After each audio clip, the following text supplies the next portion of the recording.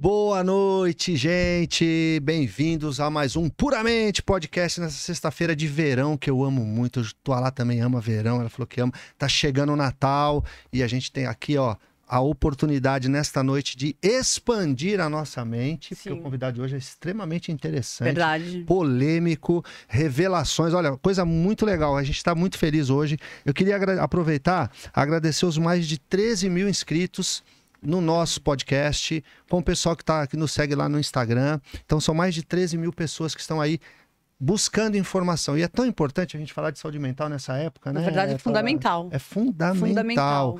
É, estamos chegando aí numa época é, é, Natal, então muita gente deprime, muita gente fica feliz, é tão Muita gente controverso. recai. Muita gente recai, né? Falando de dependentes químicos Uhum. e tal. É, e entra em depressão, enfim. E a gente está aqui muito feliz porque temos aí essa missão nos dada pelo nosso poder superior, como cada um compreende, de estarmos aqui nessa noite para falar de saúde mental. E eu quero aproveitar também para falar da Clínica Amoreira, lá em Tapicirica da Serra, que trata de dependentes químicos. Estamos lá já há dois anos, dois anos e alguns meses, e com a ajuda de Deus sempre, né? Porque sempre com a ajuda de Deus temos lá as vidas lá sendo tratadas, pessoas que estão sendo resgatadas de, em todos os aspectos, inclusive espiritual. Então eu queria agradecer a Deus e à equipe da Clínica Moreira. Nos procure lá 11 9 9957 0894. Você vai falar com esse aqui que vos Fala fala. devagar. Moreira Terapeuta 11 9 9957 0894. A gente está muito feliz. Eu, eu sempre falo isso, né? Que eu estou feliz porque eu estou realmente feliz porque Deus mais uma vez renovou as misericórdias dele sobre a minha vida e a gente está aqui nesta noite com um convidado especial e eu quero passar para essa linda, formosa, minha parceira aqui de podcast, tua lá. Tudo bem, gente? Boa noite. Tô muito feliz de estar aqui. Como vocês sabem, nós não tivemos dois episódios, porque eu tive Covid pela quinta vez. Já posso pedir música no Fantástico. Já pode, inclusive, já né? pode. É, pois é. Eu vou comprar pão para Covid. É uma coisa impressionante, né? Mas tá tudo ótimo. É, tudo é bom. Tudo é maravilhoso. Tudo é bom. E estou muito feliz de estar aqui no final de ano, ano 2. A gente, daqui a pouco, Ano meu, dois, hein, olha tá só, lá. ano 2, pois é. E aí eu, eu quero agradecer a todo mundo que está aqui com a gente, que acreditou na gente. Sempre falo quem acreditou e quem não acreditou, que foi a- quem não acredita é que nos dá mais força, tá? Acredite se quiser. E também somos muito agradecidos aos que acreditam que são extremamente importantes, que são os nossos é, amigos fiéis, as pessoas que nos né, apoiam. Também são. Todo, todo mundo é necessário, né? A, a vida é uma matemática perfeita. É uma equação que parece um caos, mas no final tudo faz sentido. Então eu quero muito agradecer também ao Moreira, né? Que foi o Moreira que me deu a oportunidade de iniciar Imagina. essa. Só essa- um, um canal. Não, né? não, não. Não? Então, Não. te- então fui eu mesmo. Foi você oportunidade. mesmo. Eu recebo. Re- É, receba. que me convidou para estar ao lado dele, com muita honra aceitei. Não sabia fazer podcast, mas eu sempre falo assim: quando alguém te desafia ou quando alguém te propõe algo que você não sabe fazer, mas você entende, você sente aquilo no seu coração como chamado, vai lá, mesmo sem saber fazer, e vai aprendendo. Foi assim que eu fiz, eu não sabia e aprendi por conta do Moreira. Obrigada, Moreira. Eu Ah, sempre vou imagina. agradecê-lo, né? É uma E abriu uma. E a- você abriu não só o, o- o mundo do podcast para mim, mas como um leque de possibilidades de todas as pessoas que nós trouxemos, né? E vamos trazer, porque isso nunca vai acabar, Não. né? E é, a nossa vida foi transformada através de tudo isso. Então, nada, nada não existe acaso, né? Amém. Tudo é plano, Amém. né? Então, tô muito feliz Ah, aqui. Boa você me deixou mundo. agora Que você falando bom. isso. É? Você sabe que é, o, o- nosso convidado de hoje, a gente vai falar muito sobre questões da Bíblia. E eu gosto muito da Bíblia, você sabe disso. Sim. né? Eu gosto muito, é um, é um, uma, é uma- é importantíssimo. Para mim, é uma bússola Sim. imprescindível. E a Bíblia diz que nada é por acaso. Não, não existe acaso. né? Não existe acaso, que tudo contribui para o bem daqueles Sim. que amam a Deus. Então, guardadas a- a- o entendimento de cada um, eu tenho Sim. certeza que não foi por acaso que nós nos encontramos. E, e o, e o trabalho que a gente faz aqui, de falar de saúde mental, né, um nicho tão importante, as pessoas estão tão perdidas, né? Bom, Mesmo dentro das igrejas, que é o que a gente vai falar hoje aqui. Então, eu já vou até trazer já um mas a igreja é um aí, lugar de cura espiritual. né? Que é um lugar de né? cura. As pessoas estão ali, às vezes acham que já estão curadas. E o que, que é cura, né? Vamos falar Ah, sobre vamos isso falar que também, que é né? Porque às vezes a pessoa acha que né? está curada E não tá, né? Tem, Tem, muita coisas, gente que né? sai da igreja e fala assim: ah, eu não frequento mais a igreja porque as pessoas da igreja. Ué, mas você espera encontrar o quê? Pessoas perfeitas? tem- As pessoas estão lá porque é um lugar de cura, um hospital Exato. espiritual, pelo menos na minha visão. Sim. Qualquer lugar espiritual Vai dar assunto isso aí, hein? Vai dar é um assunto lugar nosso de cura. E você hoje. quer o quê? Gente perfeita lá É, dentro? até porque Jesus Cristo também andava com quem, né? Ele veio pra quê? Pra quem tá Ladrões, prostitutas, assassinos. É, para né? quem estava precisando de cura. Então a Exato. gente está aqui para levar mensagens de cura, de libertação, de entendimento, de manter a sua mente aberta, porque saúde mental é extremamente importante. E nós estamos vivendo num mundo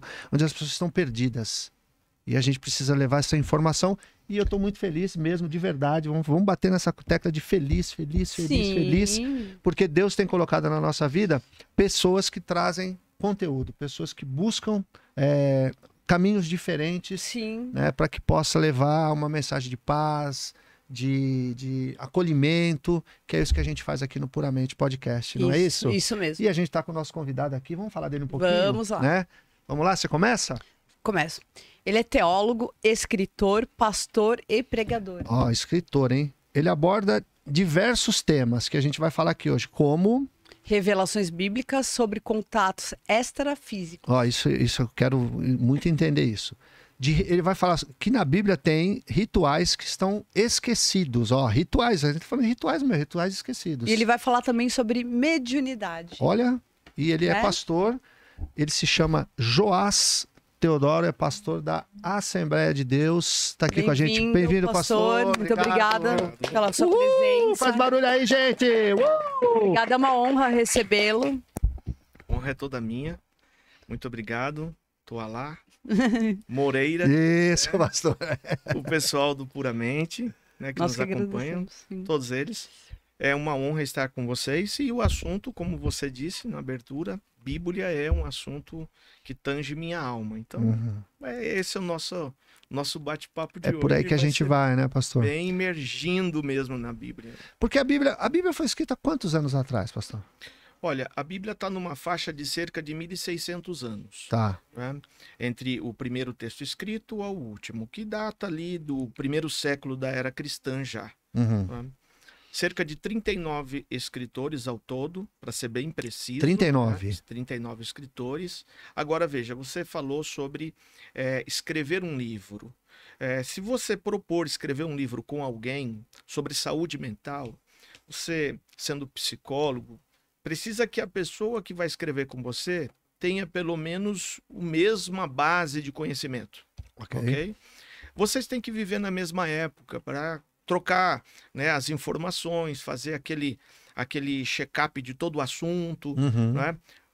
O livro tem que ter um balanço. né? Então, ah, tira um pouco aqui, coloca um pouco aqui, para que eh, o, o livro tenha um, um norte um- um linear, vamos dizer assim. Tá. Agora, são 39 escritores. A maioria deles não se conheceram. Tem deles que distam cerca de 400 anos entre um e outro, ok? Ah, 400 anos. Um era rei, um era cuidador de ovelha, um era boiadeiro, o outro era poeta. E escreveram um livro. O livro tem uma, uma linha contínua sobre o mesmo assunto, Uhum. ok? E para mim não vejo outra coisa senão ter um, um insight de uma mente superior, inspirando cada escritor em cada assunto a ser escrito, em cada época distinta, diferente. Tá. Isso incluindo o Antigo e o Novo Testamento. Antigo e Novo Testamento. Tá. O mesmo assunto acontece tanto no Antigo quanto no Novo. A diferença é que no Antigo o Messias vem e o Novo Testamento o Messias voltará. O, o Messias do Antigo Testamento seria Davi? O Messias do Antigo Testamento é o Cristo para nós. Tá. Ô, pastor, deixa eu fazer uma pergunta pro senhor. É... Essa coisa da, da, da Bíblia, ela é, é- ela é muito importante porque eu conheço pessoas que não, por exemplo, que não participam de igreja, não, não, não congregam, enfim, né? Não praticam a coinonia, né? Sim. Mas leem a Bíblia e tal, e têm um entendimento, e acaba sendo, como eu disse até no início, uma bússola, uma, uma maneira de se, de se auto. de colocar regra, disciplina, enfim. Sim. Como que surgiu a Bíblia na vida do senhor? É, é, quando, o senhor se converteu quando? De onde, onde o senhor nasceu? É, é, a família era evangélica? Dá para o senhor contar um pouquinho? Claro. A gente fazer uma, uma linha do tempo aí? De como... Sim. Por favor. Eu venho de berço cristão, Tá. de orientação evangélica, pentecostal. Em 86, em 1986, se deu a minha conversão. Tá. De que forma? A, mi- a ministração daquela noite se baseava assim: Deus não tem netos. Deus não tem netos. Isso. Deus só tem filhos. Então, Tá. o fato de você ser filho de alguém que frequenta a igreja não faz de você filho de Deus. Esse é o primeiro ponto. Ele não tem Como netos. é que é essa, essa frase? Fato. De alguém pertencer à igreja, o seu filho não, não, não, é, não é filho de Deus. Tá. Só pelo fato de que, por exemplo, eu frequento meu filho, é, não é automaticamente neto de Deus. Deus não tem neto, só tem filhos. Tá. Então era essa vertente. Agora eu tinha seis anos de idade. Seis anos. E, e eu não entendia de religião, muito menos de fé. Mas eu entendia de. Eu sabia que eram os meus pais e sabia que eram os meus avós. Tá. Então, quando a- o palestrante da noite disse que Deus não tinha netos, só tinha filho, eu pensei: os meus pais são filhos de Deus e eu não sou nada. Eu tinha só seis anos. Pela lógica. teve essa da- compreensão. Pela lógica, né? Da, da- da- da- Então eu tenho que aceitar a Cristo como meu salvador pessoal. Eu tenho que deixar de, de ser um nada, uma, uma simples criatura, Uhum. para ser filho de Deus. Então foi aí que eu abracei a fé e a partir deste momento veio outras curiosidades que foram tangendo ao longo do tempo, Uhum. né? E mas aos meus 11 anos de idade eu passei a estudar a Bíblia especificamente a partir das incógnitas que começaram a surgir, né? Quando você vai para o colégio secular, você vai ver que muita coisa que aprende na sabatina, na escola dominical, ela, ela é confrontada à luz da ciência. Uhum. né? Seis dias da criação, por exemplo. Sim. Então, imagine que na adolescência, muitas dúvidas começaram a surgir. Porque fala também do Big Bang, né? É isso que eu ia Sim. falar do Big Né? Bang. Sim. E aí, quando você vai para a luz das escrituras, você precisa ir sem aquela roupagem religiosa que você aprendeu dentro da casa espiritual onde você está inserido. Ah, tá. Seja um um evangélico, seja um católico, um espírita, não importa. Então, a Bíblia, ela não vai confrontar você quando você traz para a Bíblia as suas verdades. Ah, Então, quando eu vou para a Bíblia, para que a Bíblia me dê norte ou me dê base para aquilo que eu já acredito, você vai encontrar essas bases. Agora, quando eu vou para a Bíblia totalmente vazio de tudo aquilo que foi uma roupagem religiosa, para que ela me ensine, ela vai me mostrar coisas que, de repente, a religião não mostra. tá. Então, foi esse o meu contato primeiro com a Bíblia. Com 11 anos Com começou. 11 anos. Então você chegou a questionar Deus? Chegou a questionar Deus? Sim, sim. Como é que foi esse questionamento, pastor? Veja, é, primeiro, dentro da igreja, fala-se muito sobre a criação a partir dos seis dias da criação. Uhum. Nas escolinhas bíblicas dominical, a gente aprende isso. Só que quando você chega no colégio secular, você encontra lá que a formação demorou centenas, se não bilhões de anos. Sim. E aí, como explicar isso? Porque a ciência é pautada né, por projetos científicos. Evidências. evidências. Então, como explicar isso? Dinossauros, por Eu exemplo. ia falar sobre os dinossauros. Uhum. Dinossauros. Se você é, ter uma, uma grande maioria massiva, vai dizer, não, a Bíblia não fala sobre eles. Mas a Bíblia fala sobre eles. Grandes Fala. criaturas. Fala. As grandes criaturas, não? Sim, mas, mas muito mais prático do que só grandes criaturas. Hum, Por quê? Veja bem, a palavra dinossauro ou, ou qualquer outra vertente, ela ela tá aí para 180 anos, né? Uhum. Tá 180 anos. Até 180 anos atrás não tinha essa palavra, ela é muito nova. Dino, dino... É, a palavra dinossauro ela é nova, ok? Então o que acontece? A Bíblia ela termina todo o seu escrito que entrou no canon no primeiro século da era cristã. Tá. Ok? Então, quais eram os nomes para esses animais antes disso? Se a pessoa que estiver ouvindo agora der um Google Uhum. e colocar lá, por exemplo, Bimonte, ok? Vai aparecer para ela a imagem de um dinossauro. E aí, quando você vai para o livro de Jó, quando Deus está conversando com Jó sobre um período chamado período imemoriável, que está antes do primeiro dilúvio, e houve dois dilúvios, que está antes do primeiro dilúvio, você vai encontrar Deus falando para Jó: onde você estava quando eu eu fiz as colunas do universo? A ciência agora conseguiu fotografar essas colunas do universo, ok? Então, onde você estava, a Bíblia já estava falando dessas colunas. Quando ele vai questionar, né? Isso. Ele, que ele tem aquela conversa Isso, com aquela Deus, né? conversa, ali, ele fala assim, onde você estava quando eu estava criando os anjos? Quando eu estava pesando o pó da terra em balança? Quando eu dei vida ao bimonte? Olha só, você tá... E, ele, e aí Deus vai falar assim, ó, a sua cauda é como o cedro do Líbano. Então você literalmente vê que Deus está falando de um dinossauro. Mas não foi usada esta palavra, porque a palavra vem existir 180 anos atrás. Agora, é, Mas, mas deixa eu só concluir. por favor, por favor, por favor. Não, pode, pode, pendente. pode, claro. Os seis dias da criação. O tempo, Deus está criando a partir do Kairos, do tempo de Deus, da eternidade. O tempo vai surgir no quarto dia da criação. Deus cria os luminares maiores, Sol, a Lua, as estrelas, e diz: é para estabelecer as estações do ano e para contar o tempo.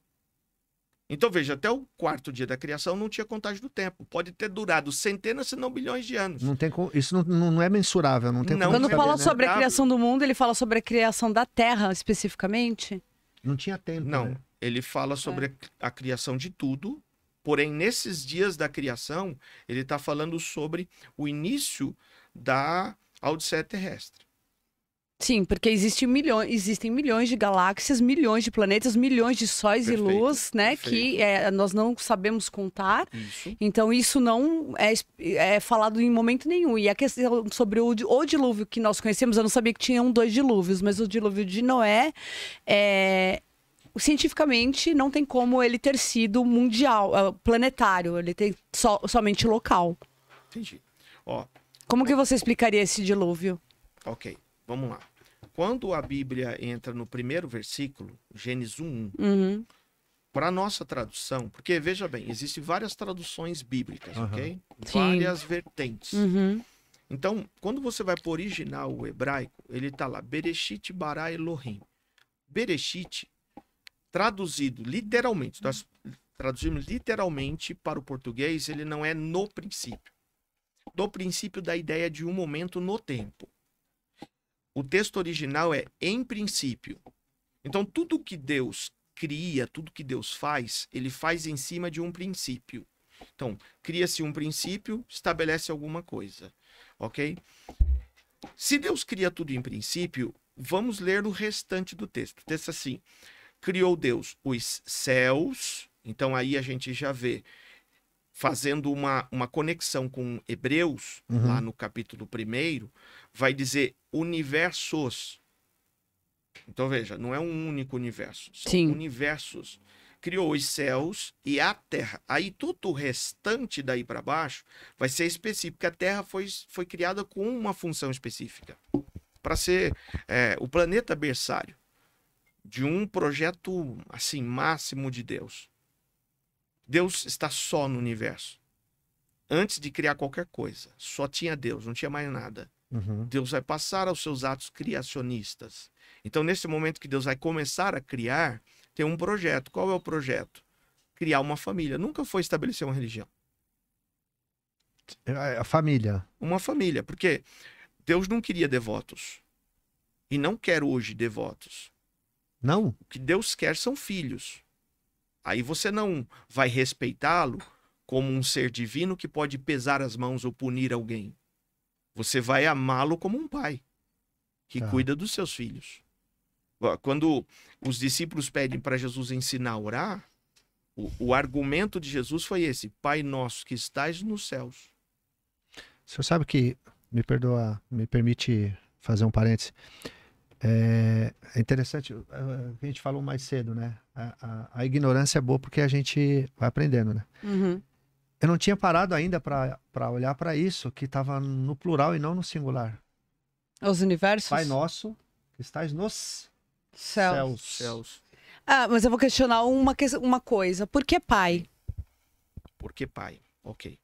Porque gera vida. E a mãe? Ok, então vamos lá. Olha só. Boa. Essa, essa é uma pergunta sensacional. Boa, né, pastor? É, porque, por que, é- que é- Deus é masculino? Quem disse que é? Porque Essa seria a pai. pergunta correta. É. Mas vamos lá. É, Deus, quando ele começa os seus atos criacionais, ele precisa estabelecer uma assinatura. Se você é criadora de alguma coisa, você tem que pôr nela assinatura. Sim, Cria-se a marca de um perfume, assina fulano de tal. certo. Então, Deus precisa pôr essa marca, essa assinatura. Tudo que Deus é e tudo que Deus faz está na- no campo do, do espiritual. Ok? No Uhum. campo do espiritual. Tá. João 4, 24. Deus é espírito. E é gerador de espíritos. Aí entra a criação dos anjos, por exemplo. que São seres espirituais, com corpos espirituais. Então ele passa a criar essas coisas a partir do campo e da esfera espiritual. Tudo que existe na matéria, existe um similar verdadeiro, porque tudo aqui é uma cópia do verdadeiro que está no campo dos espíritos, ok? No mundo espiritual, se posso assim dizer. Sim. Tá. Ninguém tem um- uma ideia nova, ninguém cria nada no plano da matéria. Então, tudo que há no plano da matéria vem desse plano espiritual. Então, Deus ele gera tudo isso a partir dele para pôr a sua assinatura no universo. Então, passa a criar todas as coisas. Agora, qual é a ideia de pai e de filho que nós temos? É um acordo entre os entes da divindade. Porque essa pergunta sua ela é muito importante justamente para a gente sair dessa, dessa casa de aprisionamento mental que às vezes acontece, onde a palavra pai e filho gera a necessidade de uma mãe. Sim. Por, pre, por progenier. Sim ou não? Sim. Só que não, não existe um Deus Pai e um Deus Filho a partir de coabitação de corpos. Daí a não. A, não, A questão é por que, que não aparece a figura feminina, assim, por que, que não é uma deusa? Ok, vamos lá. Esse- essa questão, aí entra que eu, que eu estou dizendo. A, a questão da palavra colocada, ela entra de um período onde quem escreveu está vivendo esse período. Então ela traz consigo, cada escritor, cada palavra escrita, traz consigo as marcas desse período, deste tempo. Certo. Mas você, vo- ah, levando para o, para o conceito mais simplório da, da situação, nós temos assim: pai e filho. Ah, um Deus Pai e um Deus Filho, sim ou não? A partir da Trindade, Pai, Filho e Espírito, Espírito Santo, Santo. que é comum você encontrar nas religiões cristãs, só que não é um pai e um filho. Não existe um Deus Pai e um Deus Filho. Porque quando eu falo de um Deus Pai e um Deus Filho, eu estou falando também da idade do tempo. Por exemplo, se eu estou falando do pai, ele é mais velho. Se eu estou falando do filho, ele é mais novo. Ok? E aí tem a necessidade também de ter uma mãe. Mas nós estamos falando de um ser divino, aonde ele é gerador, a partir dele, como um pai criador, gerador de todas as coisas. A partir dele. Então nós não- estamos falando de uma existência como a nossa existência no plano da matéria, como seres humanos, que há necessidade de um homem ou uma mulher para nascer uma criança. Então Deus não, tem, não teria um gênero. Exato. Não, Deus não tem gênero. Não, tem, não, não, não está dentro desse contexto em Deus. Isso é uma coisa que ah, ah, nós, criaturas, colocamos na, na nossa Sim, cabeça. até porque a ideia da trindade acabou gerando isso a partir dessa ideia de pai e filho. Tá.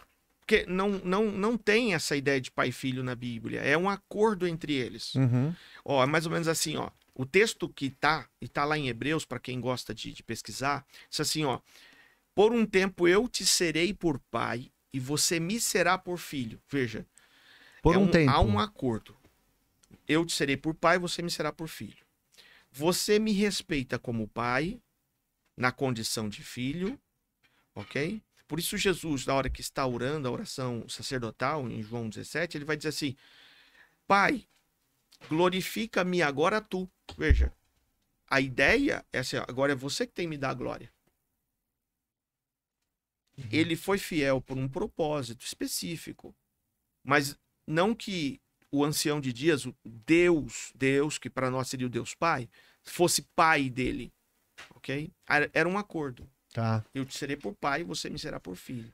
entendi. Eu queria voltar só, me permite, pastor, na questão do, do dinossauro. Para mim não ficou muito claro. É, na Bíblia, então, tem citações Sim. de que Sim, existiram, então, Sim. dinossauros? sim. Não só os dinossauros, mas, por exemplo, é, ah, vamos pegar aqui seres mitológicos, por exemplo. Ah, Ah, unicórnios. não, não é possível. Tem, Tem, tem o texto? Tem o, tem o aonde? texto. Na, na, tem na texto, Bíblia? Tem o texto. Por favor. Tem o texto. Ó, vou, vou te, te colocar uma, uma situação. Qual que é a ideia mitológica do unicórnios? Que a sua comunicação, é, ela se dava a partir de vibrações, sabe? Aquele... Aquela Terceiro espécie olho. De, de terceiro olho, Tá. né?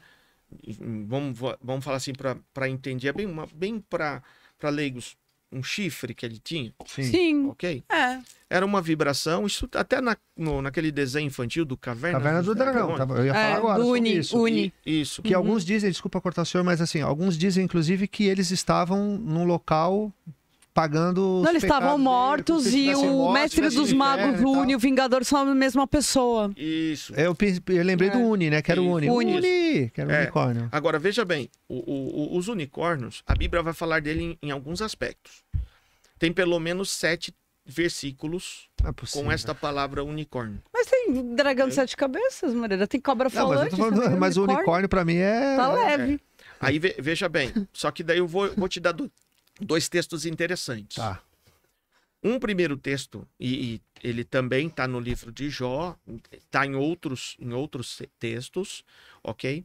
Só que assim, voltando à questão da interpretação, Uhum. eu, eu até aconselho que se faça uso de textos mais antigos da Bíblia. Eu vou- vou- não sei se poderia, não vai, não vai gerar como merchan, mas Não, fica à Não, vontade, vontade. a tradução King James de 1611, Tá. por exemplo, tenho para mim ser uma das mais das mais confiáveis com relação a isso. King James. Isso. E ela vai usar isso, ela vai usar essa palavra unicórnio. Os demais tiraram justamente porque o unicórnio está preso a- às mitologias. Mitologia, tá. Então, eles conseguiram trocar a palavra unicórnio para boi selvagem. Tá. Então, quando você lê qualquer texto que está escrito boi selvagem e você for para a versão King James, vai estar lá unicórnio, Unicórnio. Ok? Só que daí, olha que Davi vai dizer: que as minhas orações sejam ouvidas diante de Deus a partir dos chifres dos unicórnios. É, E aí é um salmo. o que, que aconteceu com os dez livros que foram excluídos da Bíblia, os apócrifos? Os apócrifos, ok. Quando, quando se trata de canon, ok? Hum, É, vamos dizer assim, textos considerados sagrados e uhum, os apócrifos. Isso. É, considerados não inspirados. Então, um, um grupo de estudiosos, né? Um grupo de estudiosos, eles pegaram essa, esses, esses livros e fizeram uma, uma leitura deste período que foram escritos. Certo. Então, o que aconteceu? Estes livros chamados de apócrifos, que não entraram dentro do canon, Isso. eles foram escritos em um período onde não há registro de comunicação de Deus com ninguém. Nem por sacerdote, nem por profeta, nem por rei. É como se Deus ficasse por silêncio. Por cerca de quatro. Há uma divergência teológica. Mas de Aham. 430 a 450 anos, Deus não falou com ninguém. Mas esses livros continuaram sendo escritos. Como estou escrevendo um livro, finalizando um livro agora. Sim. Esses. de- desculpa, esses livros estão na, na, na, na Bíblia Na verdade, estão guardados pela Igreja Católica. católica, não é? É, é a sim. Igreja Católica que suprimiu, que é onde Jesus casa com Madalena. E, E, aí, tem filhos. e aí vamos, vamos pegar uma, É. uma Eu situação. ia chegar lá, mas vamos lá. Vamos pegar uma situação aqui. Hum, Livro de Enoque. Ok? O, Uhum. li- o livro de Enoque, é, ele vai retratar coisas extraordinárias. Mas não entrou no canon. certo. Só que quando você vai para o livro canônico de Judas, de capítulo único, você vai encontrar Judas escrevendo assim, ó. Dele, do Cristo, também profetizou Enoque, o sétimo depois de Adão, onde ele viria com poder e grande glória sobre as nuvens dos céus, rodeado das suas miríades de santos anjos Uhum. ok? Tá no canon. Só que você vai para Gênesis, aonde conta a história de Enoque, não tem nenhuma citação de Não Enoque. cita isso. A única coisa sobre Enoque é assim, andou Enoque com Deus e Deus para si o tomou. Não tem mais nada. Aí você vai ler o livro, chamado livro apócrifo de Enoque, É. você vai encontrar Não, foi ótimo. Enoque dizendo, Falando sobre isso. falando sobre isso. Então ci- você vai ver que Judas, que é um livro canônico, citou o livro de Enoque. De Enoque, Eu vou citar, a- então, são o Apocalipse de Pedro, Isso, a Epístola de Barnabé, sim, não entra, ahn, o Evangelho da Infância de Tiago, sim. Pastor Hermas, é, Primeira de Clemente, Peraí. São os apócrifos, né? isso, que não que o- a, igre- a igreja tem- sobre Evangelho de Tomé. Sim. Olha que importante. E tem os apócrifos que entraram como canon para o canon do catolicismo romano. Se você pegar a Bíblia com a, a assinatura católica ah, e a Bíblia de assinatura evangélica, você vai encontrar a Bíblia evangélica com 67 livros, uhum. ok? Não E a- são 66? é, te- é que tem um livro escondido dentro de um outro. Opa, Então, vo- você- vamos voltar nisso. porque É, então. Foi 66. e a Bíblia católica com 72. Isso. Totalizando sete livros a mais. Macabeus 1, Macabeus 2, Judite, Isso. Baruch. A terceira carta de Coríntios, Sim. a Epístola Perdida de Cartas Coríntios. de Coríntios são quatro. O documento, São o quatro. documento Q, né? E, é, então, então são é, os estudos que eu tive, porque eu, eu, eu, eu, eu estudei a Bíblia, mas é, e também ah, hoje eu sou agnóstica, né? Eu sou até agnóstica. Mas o que eu, eu questiono é por que, que não se fala sobre a vida comum de Jesus? Que Jesus foi, veio para viver uma vida na carne. Sim. Por que, que ele é- é mencionado como um homem abstenho, por exemplo, que não se casou, não teve filhos?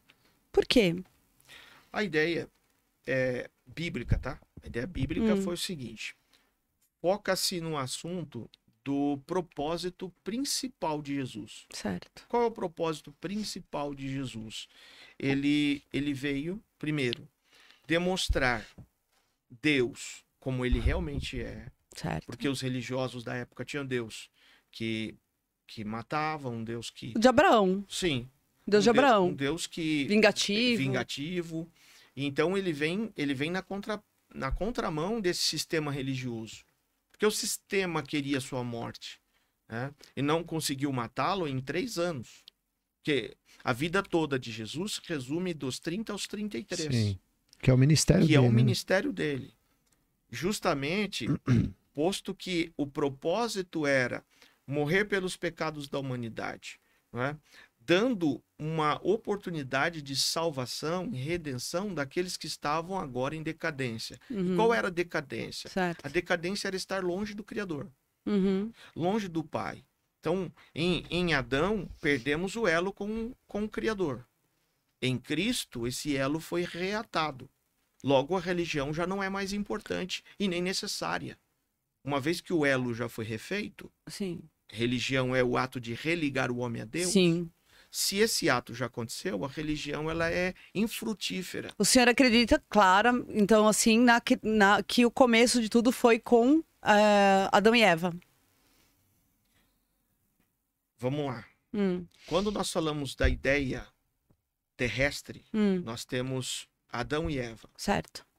Só que daí temos um- uma questão im- importante. Ah, Quando o planeta veio para esse propósito que eu coloquei no início, o planeta berçário, todo o universo já estava pronto, certo. com habitantes espalhados por toda a vastidão do universo. Uhum. Então, a princípio, foi estabelecer aqueles que seriam progenie do Altíssimo, os filhos de Deus. Uhum. Porque todos os demais eram criaturas, seres gerados por Deus. Agora Deus estava estabelecendo literalmente uma família. Agora, o período de Adão e Eva, porque eu acredito que talvez seja essa dúvida que você talvez tenha. É, por exemplo, Caim, quando sai do jardim ali, daquela, daquela região Porque mata próxima, Abel. que matou Abel, o Caim ele vai para uma outra região, Nod, né? Próximo, próximo à região do jardim, mas é um lugar chamado Nod. Uhum. E ele chega naquele lugar e casa com alguém. Isso que eu ia falar, porque se só existiu Adão e É, Eva, Caim e essa- Abel, e, e um mata o outro, quem coabitou com a mãe para continuar a, a, a espécie humana? Ok, então vamos lá. É, Adão e Eva estão no paraíso e estão gestando. Eles, eles estão gestando, porque a partir do momento que foram colocados no paraíso, a ordem de Deus foi crescer e multiplicar. Uhum. Isso. E eles estão tendo filhos. Agora, a gestação não era de nove meses. Não? Não. Porque Deus diz assim: eu multiplicarei a tua conceição. Então, multiplicar. Se hoje os dias são de nove meses, se eu estou multiplicando, eu tenho que multiplicar a partir de um número. né? Uhum. Também eu vou aumentar, vou colocar dor na gestação, que, o, que, o que não tinha no Uhum. ato do parto, não tinha. Era, era natural, como é em qualquer outro Sim. dos animais. Ok? Só que assim, ela só gestava mulheres. Eva? Isso, isso, isso a gente tem como ver na Bíblia isso. Sim. Ela só gestava mulheres. Porque então, só após o pecado que ela diz assim: Eu recebi do Senhor um varão. Caim, Depois do pecado. depois do pecado. Ah. Então é verdade que no capítulo 6 de Gênesis, os anjos, os seres criados, eles viram as donzelas filhos dos homens e eles desceram e coabitaram com elas. Os anjos. Isso. Que surgiu, que surgiu os nefilins, que surgiu os gigantes, os homens de poderes. E daí dá a ideia também, né, daqueles é, semideuses. então não houve incesto. Não. É, eu- então, era isso, era isso que você estava querendo chegar, né? Porque, Exato. porque na minha mente sempre foi isso. Mas tem, mas que no Antigo né? Testamento tem o incesto. Né? Quando a mãe Tem. morre, é, as, Ah, as tem duas vários, né, irmãs- pastor? Tem As vários, duas né? irmãs Vários. embebedam o pai. Tem Noé, né? Embe- é, embebedam o pai para poder coabitar com ele para ó, poder seguir. Tá muito legal, só que eu, eu, eu queria só dar um, dar um, um, um alô aqui para o pessoal que Tá, tá aqui, claro. que tem até perguntas aqui já, viu, pastor? Legal. Ó, tá aqui com a gente Ana Petricelli, ela tá sempre entra, essa aí eu não sei de onde é. Maria Clara tá aqui também, minha filha. Um beijo, filha, papai te ama. Matheus Santos tá com a gente aqui, o Eric tá com a gente.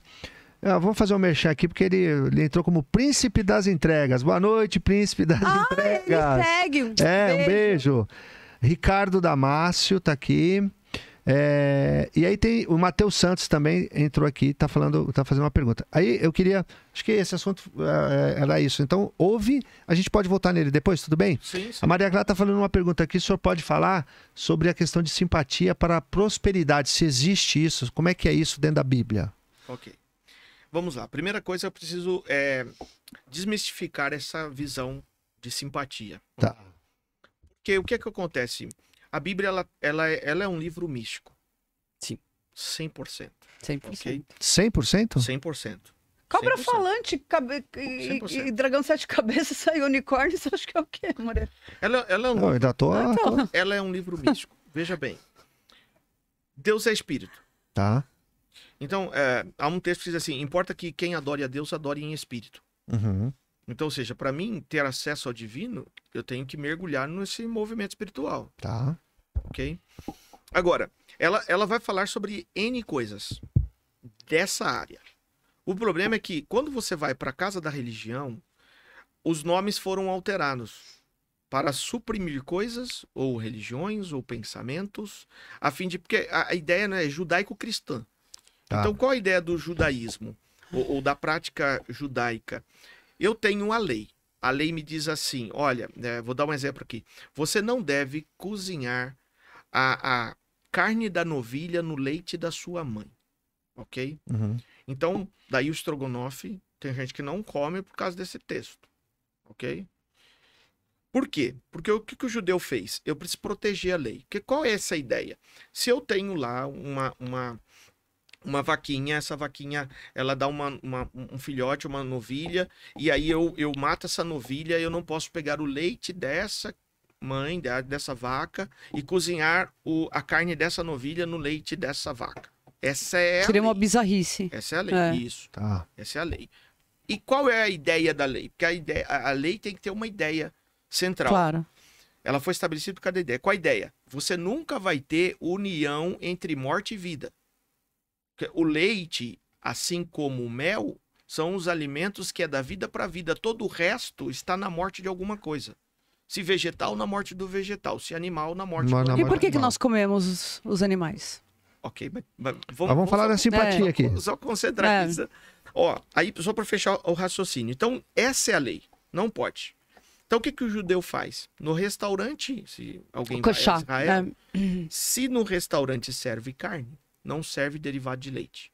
Então, não vai ter sorvete, não vai ter milkshake, não vai ter nada que tenha leite. Bem proteger a rígidos. é. Ok? Então, o que, que a religião fez? Para proteger algo, ela, ela impôs algumas regras. Uhum. Vou dar um exemplo aqui. Paulo ele cita assim: Paulo ele foi o idealizador da toda a doutrina cristã. É, Os escritos do apóstolo Paulo falei? Mais cedo, é. vêm primeiro do que os evangelhos. Sim. Então as pessoas começam lendo os evangelhos para depois ir para as epístolas de Paulo, Isso. ok? Que começa em Romanos, que não foi ele que escreveu, e vai até Não foi Hebreus. ele? Não, a carta aos Romanos foi Tércio que escreve. Tércio é o escritor da carta Tá. capítulo 16, versículo 22. Eu, Tércio, que essa carta escrevi, os cumprimento no Senhor e tal. Então, Paulo começa em Romanos e vai até Hebreus. E a pessoa começa ler o Novo Testamento a partir dos evangelhos. É qual a ideia que tem? Primeiro os evangelhos, depois a epístola de Paulo. Uhum. Mas no- quando a gente vai olhar cronologicamente, vem as epístolas de Paulo primeiro. Então ele diz assim: cuidado com culto aos anjos Tá. esse texto foi o suficiente para as igrejas, para as religiões de matriz cristã dizer assim: olha, nós não podemos ter contato. Então, se você é, quer conhecer quem é o seu anjo, você não pode. Mas a igreja do Novo Testamento, a igreja primitiva, conhecia. Hum. A igreja via. Ah, por isso na igreja adventista, a Ellen White falava que via anjos. Pois é, e qualquer pessoa pode ver. Desde que ela esteja preparada espiritualmente para aquilo, ela esteja aberta para Com a consciência expandida. Isso. Mas é a coisa da simpatia, pastor. Tá, então vamos lá. Simpatia. Aquela, porque a Maria Clara perguntou aqui, a simpatia para Prosperidade, acho que foi. É, ela falou da prosperidade depois, e, depois ela, ela. Ah, ela te acompanha, viu, pastor? Ela viu um vídeo aqui. de- Bom, enfim, Ok. a gente já vai falar, tá, Maria Clara? E depois também, Eu só desculpa, quero- eu pastor, o Matheus também, Só estabelecer um detalhe. por favor. Qual a diferença entre simpatia e ato profético? A gente falou até. A gente falou até sobre a questão do final do ano, né? É, na verdade, tudo que você tem coloca intenção, sete ondinhas, tudo que você coloca energia e intenção, é, você gera é? energia. Tudo que é ortodoxo gera energia. Sei lá. Qual Ó, que é? Hum. Vam- Vamos pegar um caso aqui. O profeta chegou num lugar onde a terra não produzia. Ok? A- terra era in- infrutífera. E os homens daquele lugar disseram assim: "Ô, esse lugar é bom. Daria pra gente viver aqui tranquilamente, mas a terra não produz. Ele falou: onde é a fonte das águas? Eles mostraram onde era a fonte das águas daquele lugar. Uhum. Ele falou: me traga um prato novo que nunca foi usado. Soa como simpatia pra você? Pra mim, sim. Aí ele diz assim: traga pra mim sal grosso. Aí ele coloca Sal- sal, grosso no, dentro de um prato que nunca foi usado e solta o prato na água. É uma simpatia. Ué. Pra igreja católica, você seria queimado na fogueira se você fosse mulher. Caramba, Aí o, que, aí o que acontece? Obrigado, O Eliseu. texto termina dizendo assim: ó, e a partir Ó, pastor, daquele tem momento, a fonte das águas foi sarada e a terra passou a produzir. Então foi uma simpatia. Foi, ué. É, mas a, mas a Bíblia, a Bíblia Só- tá cheia de ritual, tanto é que Deus testa Caramba. Mas é, Moisés, te- testa Moisés para dar o seu filho primogênito. Não, é. Testa Abraão. Abraão, e depois coloca um cordeiro no lugar. Sim. Ele queria testar se realmente ele era fiel, né?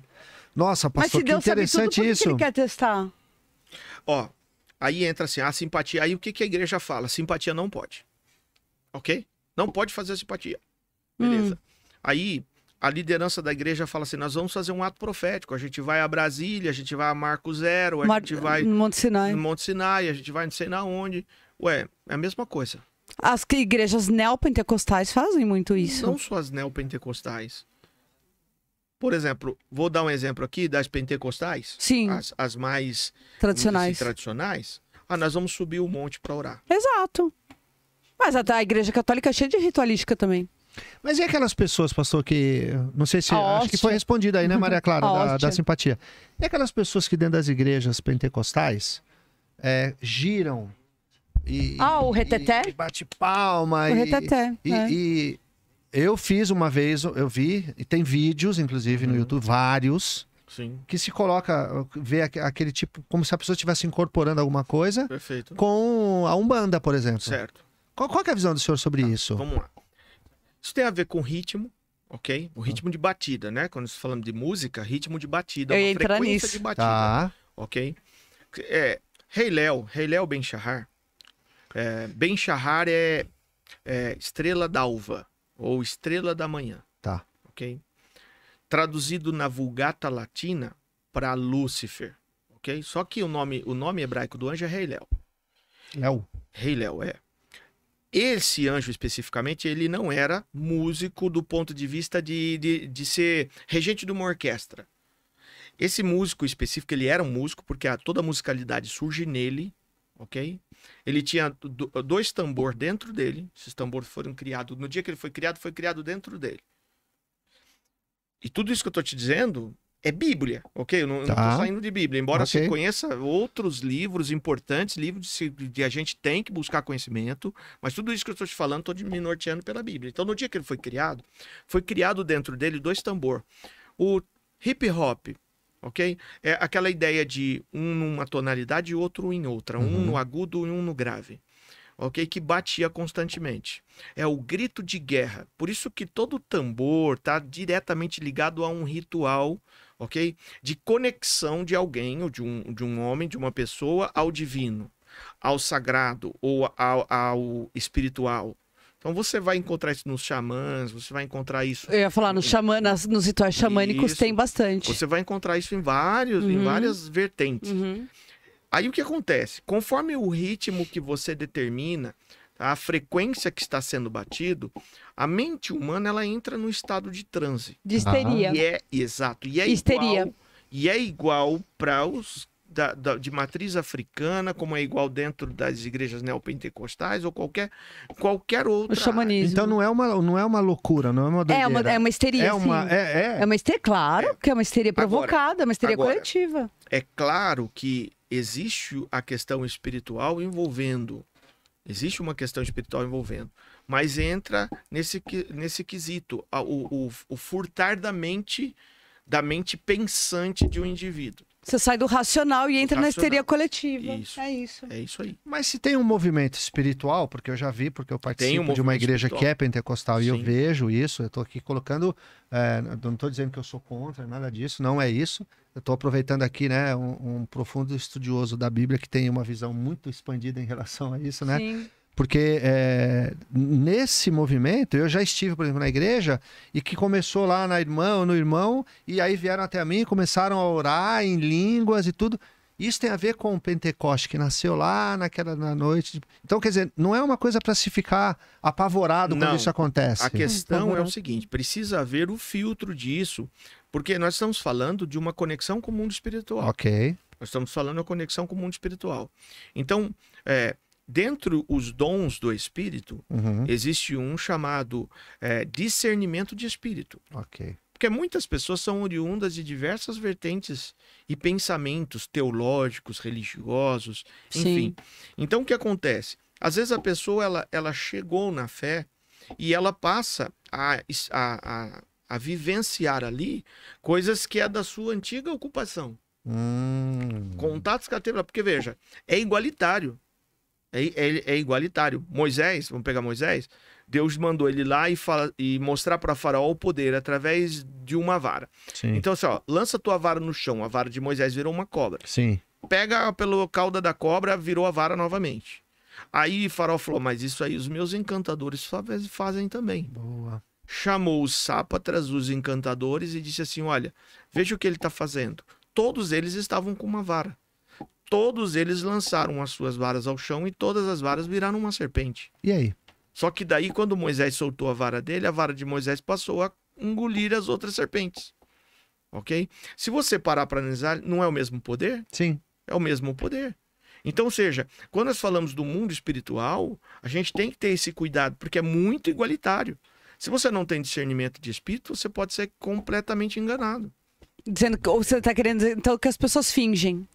Pode ser? Pode ser fingimento, pode ser, por exemplo, alguém achando ser um ser de luz e não ser um ser de luz. Ah, isso pode acontecer. Na minha visão, o que eu pergunta? acredito, o que eu- no- na minha visão, o que eu, mais é, científica, assim, de, de análise comportamental, né? Enfim, é, científica mesmo, eu acredito que toda e qualquer pessoa que diz que está incorporada ou falando em línguas está fingindo. Entendi. Está fingindo. A questão é o seguinte: como você identifica uma árvore? Se ela é um- um- uma mangueira, por exemplo, ou se ela é uma jabuticabeira? Como Pela você- espécie. como- sim, mas Estudando. estudando, ok. Mas você tá no meio do mato, ok? Você tá no meio do mato, tem duas árvores. Como você sabe qual que é a jabuticabeira e qual que é a mangueira? Pela espécie, porque a jabuticabeira vai dar. A jabuticaba dá no tronco, Pela e a fruta, mangueira. Pelo fruto? Pelo, Pelo fruto. Então. Então, que, como você saber se algo é do espírito ou algo é um fingimento da pessoa? Pelos frutos que aquela pessoa produz. Tudo que é a partir do espírito vai produzir edificação, benéfices, vai produzir crescimento, despertamento naquela pessoa. Então, eu já estive em todos esses lugares, tanto Ok. na, na- em terreiro de Umbanda quanto em igreja neopentecostal e, e tudo mais. E, e não vi nenhum benefício. Pelo contrário, por exemplo, meu pai era alcoólatra, minha mãe vivia em terreiros de Umbanda, Perfeito. né? Fazendo todo tipo de trabalho e tudo mais. Meu pai morreu bêbado, Entendi. entendeu? Tem, eh, eh, o senhor acredita que é, o, o- a ineficácia, às vezes, na- na- nessas questões, como a Tola colocou, ela tem uma mensagem a ser levada? Porque quando a gente fala, por exemplo, de dependência química, Sim. é, e esse é um assunto bem interessante que a Tola trouxe, dependência química, segundo a Organização Mundial de Saúde, aí a gente está falando de um órgão, apesar de né, terem questionado aí durante a pandemia, ah, Ah, é? mas é, que eles demoraram, enfim, mas É. é, isso aí é outra coisa. Ciência é comprovado. Dependência química, uma vez instalada, ela não tem cura. Ela É. pode ser controlada como diabetes e outras, Sim. né? Porque ela é crônica. É, algumas pessoas conseguem sair, não tem cura. E alguns pastores, alguns, alguns, algumas pessoas, não só pastores, mas de outras religiões, de outras denominações, de outras questões, de outros tipo de visão, não aceitam isso, né? Não, uma vez, não, vai ser liberto em Vai nome de Jesus, vai isso. ser curado e tal. Qual é a visão do senhor nesse sentido? Quer dizer, eu, enquanto terapeuta, né, e, e- e- e especialista em toxicodependência, eu sei que, e eu estudei para isso, então eu posso falar com propriedade. O que, o que a gente trabalha no dependente químico são os comportamentos, que inclusive através da espiritualidade ele pode, sim, e isso é muito bom quando acontece, quando une a questão de retomar os, os bons comportamentos e agregar a espiritualidade, porque daí o, o sucesso ele pode vir no sentido de estancar a doença e voltar a ter uma nova vida. Na visão do senhor, é, quando isso não acontece, quando eh, se é permitido, é da parte espiritual ou é porque foi uma opção da pessoa ou porque, como ela falou, a mãe buscava e o pai acabou morrendo? Tá. Não sei se eu me fiz entender. Fiz, fez sim. Ó, é, nessas questões a gente precisa é, fazer uma separação em três aspectos. Tá. Então nós temos primeiro o problema em si que tem que ser tratado a partir, como o senhor falou, a partir de um conhecimento de alguém que estudou, de alguém que está um profissional daquela área, Tá. ok? Então assim é, é comprovado pela pela Organização Mundial da Saúde como um problema de saúde, Sim. ok? Precisa ser tratado, precisa ser tra- tratado É. com as diversas formas de terapia para isso. Então a gente tem que olhar primeiro nesse, nesse, nesse campo de visão. Tá. Depois tem a questão que é o interesse pessoal da pessoa. Que a, todo o tratamento ele só vai produzir a partir do momento de que a pessoa submeta a esse tratamento. A Concordo, faz parte né? da cura o querer ser curado. isso, faz é. parte da cura o Sim, querer ser querer ser curado. curado. Sim, Certo, concordo certo, plenamente Concordo. com isso. O Cristo, né, se posso assim é, é, falar, me fazer entender, o Cristo, ele chegou para um homem que fazia 38 anos que era paralítico e disse assim: Você quer ser curado? Então levanta e anda. Não faz sentido eu perguntar para um paralítico se eu tenho o poder de curá-lo, se ele quer ser curado. Mas qual é a ideia? Nem todo mundo que tá quer ser curado. Tem Ah, gente que não quer. Como a passagem da mulher hemorrágica, filha de Jairo também, que é a Thalita, Exa- né? Exatamente. Então o que Aham. acontece? Você quer ser curado? Eu quero. Então prove isso. Pega a sua cama, põe nos seus ombros e vai embora para tua casa. Isso é muito louco mesmo. Entendeu? É, ele Então, fala assim, pra Jairo, tua filha não está morta. Ah, lógico que E tá ela morta. Não, vai lá pra... sua- Vamos lá, então. Mas é que o senhor falou uma Jesus coisa é o seguinte: tem pessoas que não querem morte. ser, né?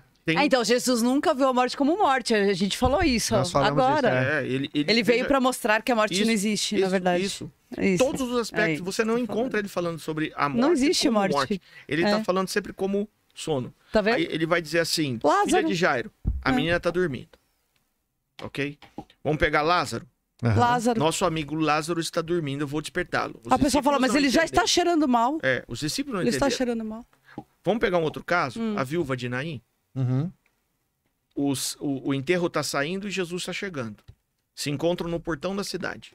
A mulher está chorando. Uma mãe que é viúva e perdeu o filho único que tem.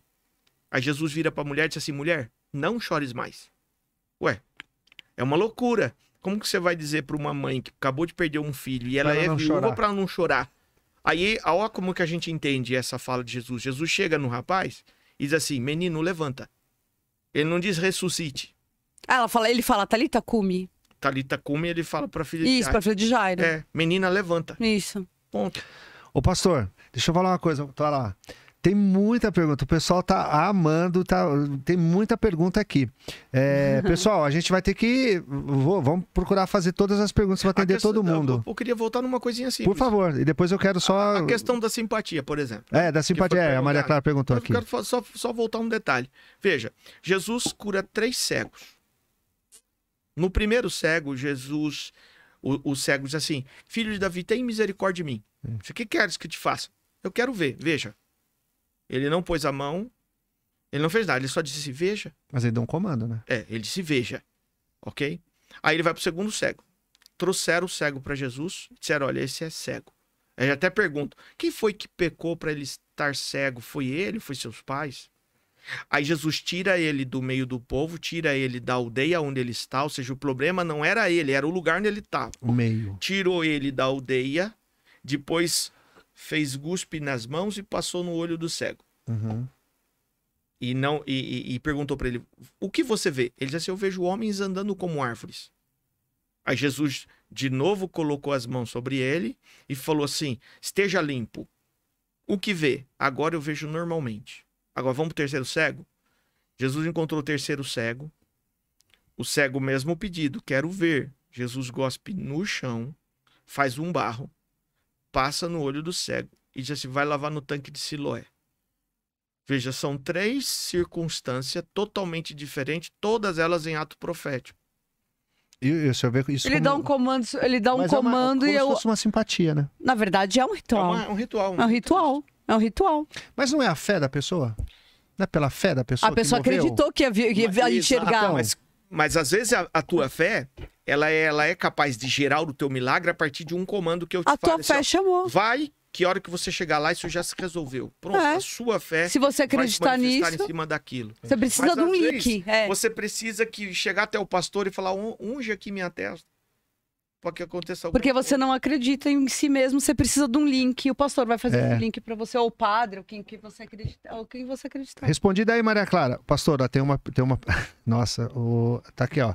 Vamos fazer outro mexer aqui. Estância Imóveis. Hum. Moreira, amando o programa. Poderia perguntar ao pastor sobre a visita de seres extraterrestres no passado e naves ocultas na Bíblia? Tem isso? Tem. Maria Clara o tem uma outra pergunta aqui, depois eu faço, Maria Clara. O Ricardo também, desculpa, pastor. Ricardo Amassa também tem pergunta. Luiz Gomes, Matheus. Gente, eu vou fazer, mas a gente vai devagar aqui. Então vamos lá, pastor. Dá para Vamos falar lá. sobre a visita de extraterrestres e naves ocultas na Bíblia? Bom, a primeira coisa que eu, eu preciso, assim, ó, a gente precisa ir para a Bíblia completamente vazio daquilo que a gente aprendeu. Tá. Então, assim, quando nós falamos de anjos, por exemplo, a ideia que se vem é aquilo que venderam para nós ao longo de toda a história. A- Asinha. Asa, o- a auréola, Trombeta. Loirinho, cabelinho. loiro, Cabelinho. azuis, tem uma Aham. trombeta, ou É. então tem aquela, O Harpa. arquinho, o arquinho harpa, do- do- Tá. né, do cupido, não é assim? Sim. Ok. Só que a Bíblia, ela não, ela não registra esse estereotipo. A Bíblia, ela vai falar de uma maneira diferente. E todos os que viram anjos caíram desmaiados, de medo. Aí você vai falar, mas peraí, por que que tinham medo se era só um ser de branco, tinha duas asinhas, tinha uma auréola, eram loiros dos olhos azuis? Como que, por que que manifestou tanto medo nesse povo?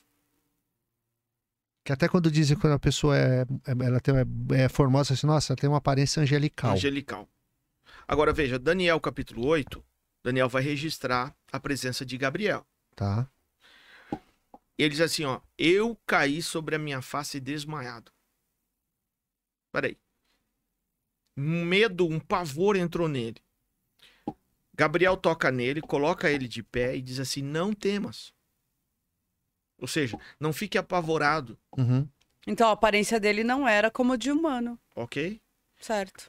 Ele diz assim: Eu vi como homem. Ver como homem não é homem, ok? É um ser humanoide. Tá. Tem Como perna. homem, é diferente. Tem braços, tem um Olhos, tronco, tem olhos, mas é um ser humanoide. É como homem. Ele não diz que é um homem, ele diz como homem. Sim. ok? Alguns desses seres, quando foram falar com, com os profetas, enfim, com os sacerdotes, né, o- a- levando a mensagem que eles estavam levando, Uhum. eles chegaram em veículos, em, em, em carros. O que o profeta às vezes não tinha parâmetros para dizer, olha, isso aqui. O É um profeta não carro. ia dizer lá, 400 anos antes de Jesus, não ia dizer assim, ó, isso aqui era uma. Ele chegou numa nave que tinha uma turbina, ele não, nem Não sabia o que, ele não tinha sabia que, não sabia que a Terra era redonda. Como é que Mas vai não- falar sobre isso? Agora, olha, olha só, veja a visão de Ezequiel. Ezequiel diz assim: Eu vejo uma roda, ok? Você faz um círculo. Dentro tem uma outra roda. Uma gira num lado, outra gira no outro. Elas, elas estão uma roda dentro. Diz assim: por sobre as rodas havia uma abobada, um, como de cristal. Ele, ele usa vidro, ok? Não tinha Uhum. ideia do vidro. Tá. Então, co- como cristal. E o espírito dos seres, os seres que, tão, que vieram ali para falar com ele, estava nas rodas, porque querendo eles elevar-se da terra, elevavam-se as rodas, e querendo eles baixar, baixavam-se as rodas. O, o comando era a partir desses seres que estavam ali. Quer dizer, no entorno, olhos. Mas ele não diz olhos, ele diz como olhos. E como olhos é diferente de olhos. É do jeito que eles sabiam explicar. internet É. de umas rodas cheias de olhos, mas isso aqui não é olho no ponto de vista de olho, porque eles assim, ó, e a semelhança desses pseudo-olhos eram de turquesa, de jaspe, de safira, ou seja, Então, eram, eram, eram, eram coloridos, eram, eram, entendeu? Tá, onde que tá na Bíblia isso, pastor? Tá, em- tá em Ezequiel capítulo 1, tá em Ezequiel capítulo 10, tá em Daniel capítulo 8, tá, em, tá espalhado. Outra pela- coisa, Então, a própria ascensão de tá aí. Jesus. Ezequiel, né? A ascensão de Jesus e Maria. Muita gente fala que aquela ascensão, aquilo ali foi uma abdução. Tá, vamos falar de Elias, por exemplo. Ah, Que Elias é, concluindo esse assunto das naves. hum. O texto diz assim que Elias foi separado de Eliseu por Uhum. uma carruagem de fogo. Isso. Esse foi o termo usado. Ok? Uma carruagem de fogo. Detalhe, detalhe que na visão de Ezequiel ele fala até do barulho da- desse- dessas rodas aí. Se assim, o barulho das rodas era como o som de muitas águas. Compara o barulho de uma turbina e o barulho de uma queda de água de cachoeira muito forte e você vai ver que tem muita similaridade. Agora, vamos Verdade. voltar para Elias Eliseu. Eliseu e Elias é separado por uma carruagem de fogo. E a Elias é tomado no céu, ao céu, num redemoinho. Redemoinho é aquele vórtex de vento, ok? Sim. Sim. Só que veja, toda vez que Deus se manifestou a alguém, ele não estava em um vórtex de vento. Ou seja, não há sim- similaridade entre Deus e um, e um furacão, por exemplo. Tá. Tanto que quando o profeta está dentro da caverna, ah, apareceu tochas de fogo, Deus não estava no fogo. Apareceu um vento tempestuoso, Deus não estava no vento. Mas Por ele último, aparece como fogo para Abraão Aí, no por, monte. Por último, por último, é? por último para Moisés. Mas Pra Moisés. é, por último, é, ele diz assim: mas uma voz mansa e suave. Uhum. Então, veja, o vórtex de vento que tomou Elias pode não ser realmente de vento. Pode não ser. Podia ser então ali um- uma nave É. E- isso. que veio, pegou Sim. com os anjos extraterrestres e levou pro... Sim, porque veja bem, observe. Quando eles estão voltando desse, desse episódio, Eliseu, que está voltando, encontra 50 dos filhos dos. Porque Elias era dono de uma escola de profeta. Tá. Então ele encontra 50 desses alunos de Elias. Tá? E quando ele encontra, os- esses, esses moços dizem para ele assim: Deixa a gente procurar o teu senhor Elias. Ele disse: Não procurem. Disse, não, mas deixa a gente procurar aqui nas montanhas da região, ou quem sabe nos vales. Pode ser que achemos, como das outras vezes, o Espírito tenha tomado para essa montanha ou para esse vale. E aí, por insistência, por constrangimento, ele lhes permite. Eles procuram por um período e voltam e dizem assim: não achamos em lugar nenhum. E ele disse assim: eu disse para vocês não procurar. Agora veja, como de outras vezes, essa tomada de Elias não aconteceu a primeira, não, não foi a única vez. Não foi a única vez que aconteceu. Tá. Então, eu acho que respondi daí pro Estância Móveis, Imóveis.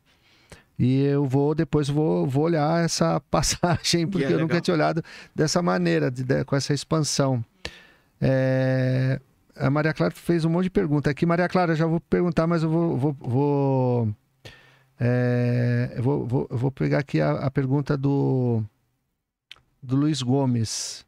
Ele está perguntando aqui, pastor, o seguinte: que tá, ele está aproveitando muito o papo aí sobre essa questão da simpatia. Isso saberia dizer o que que são contratos espirituais? Hum, muito boa. Essa pergunta é muito top.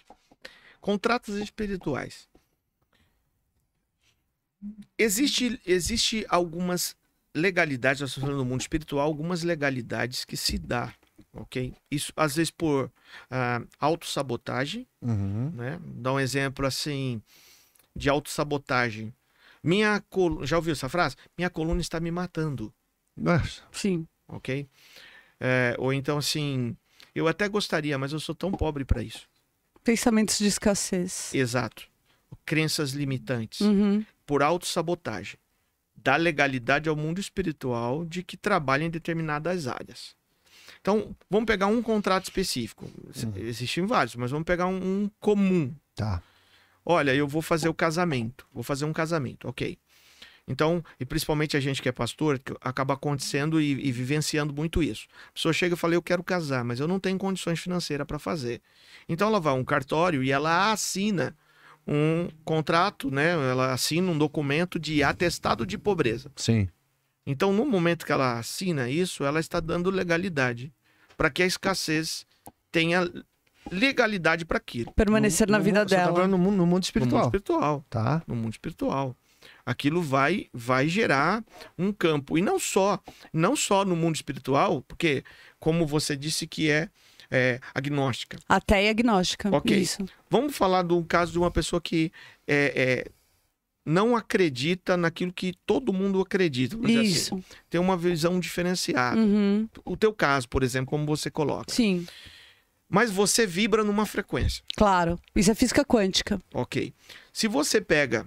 é, existe um- uma ferramenta que é usada muito pelo- pelos músicos, principalmente o pessoal que toca piano e tal, para afinar o piano, que ela, ela consiste em você bater e vai ecoar uma nota, Isso. ok?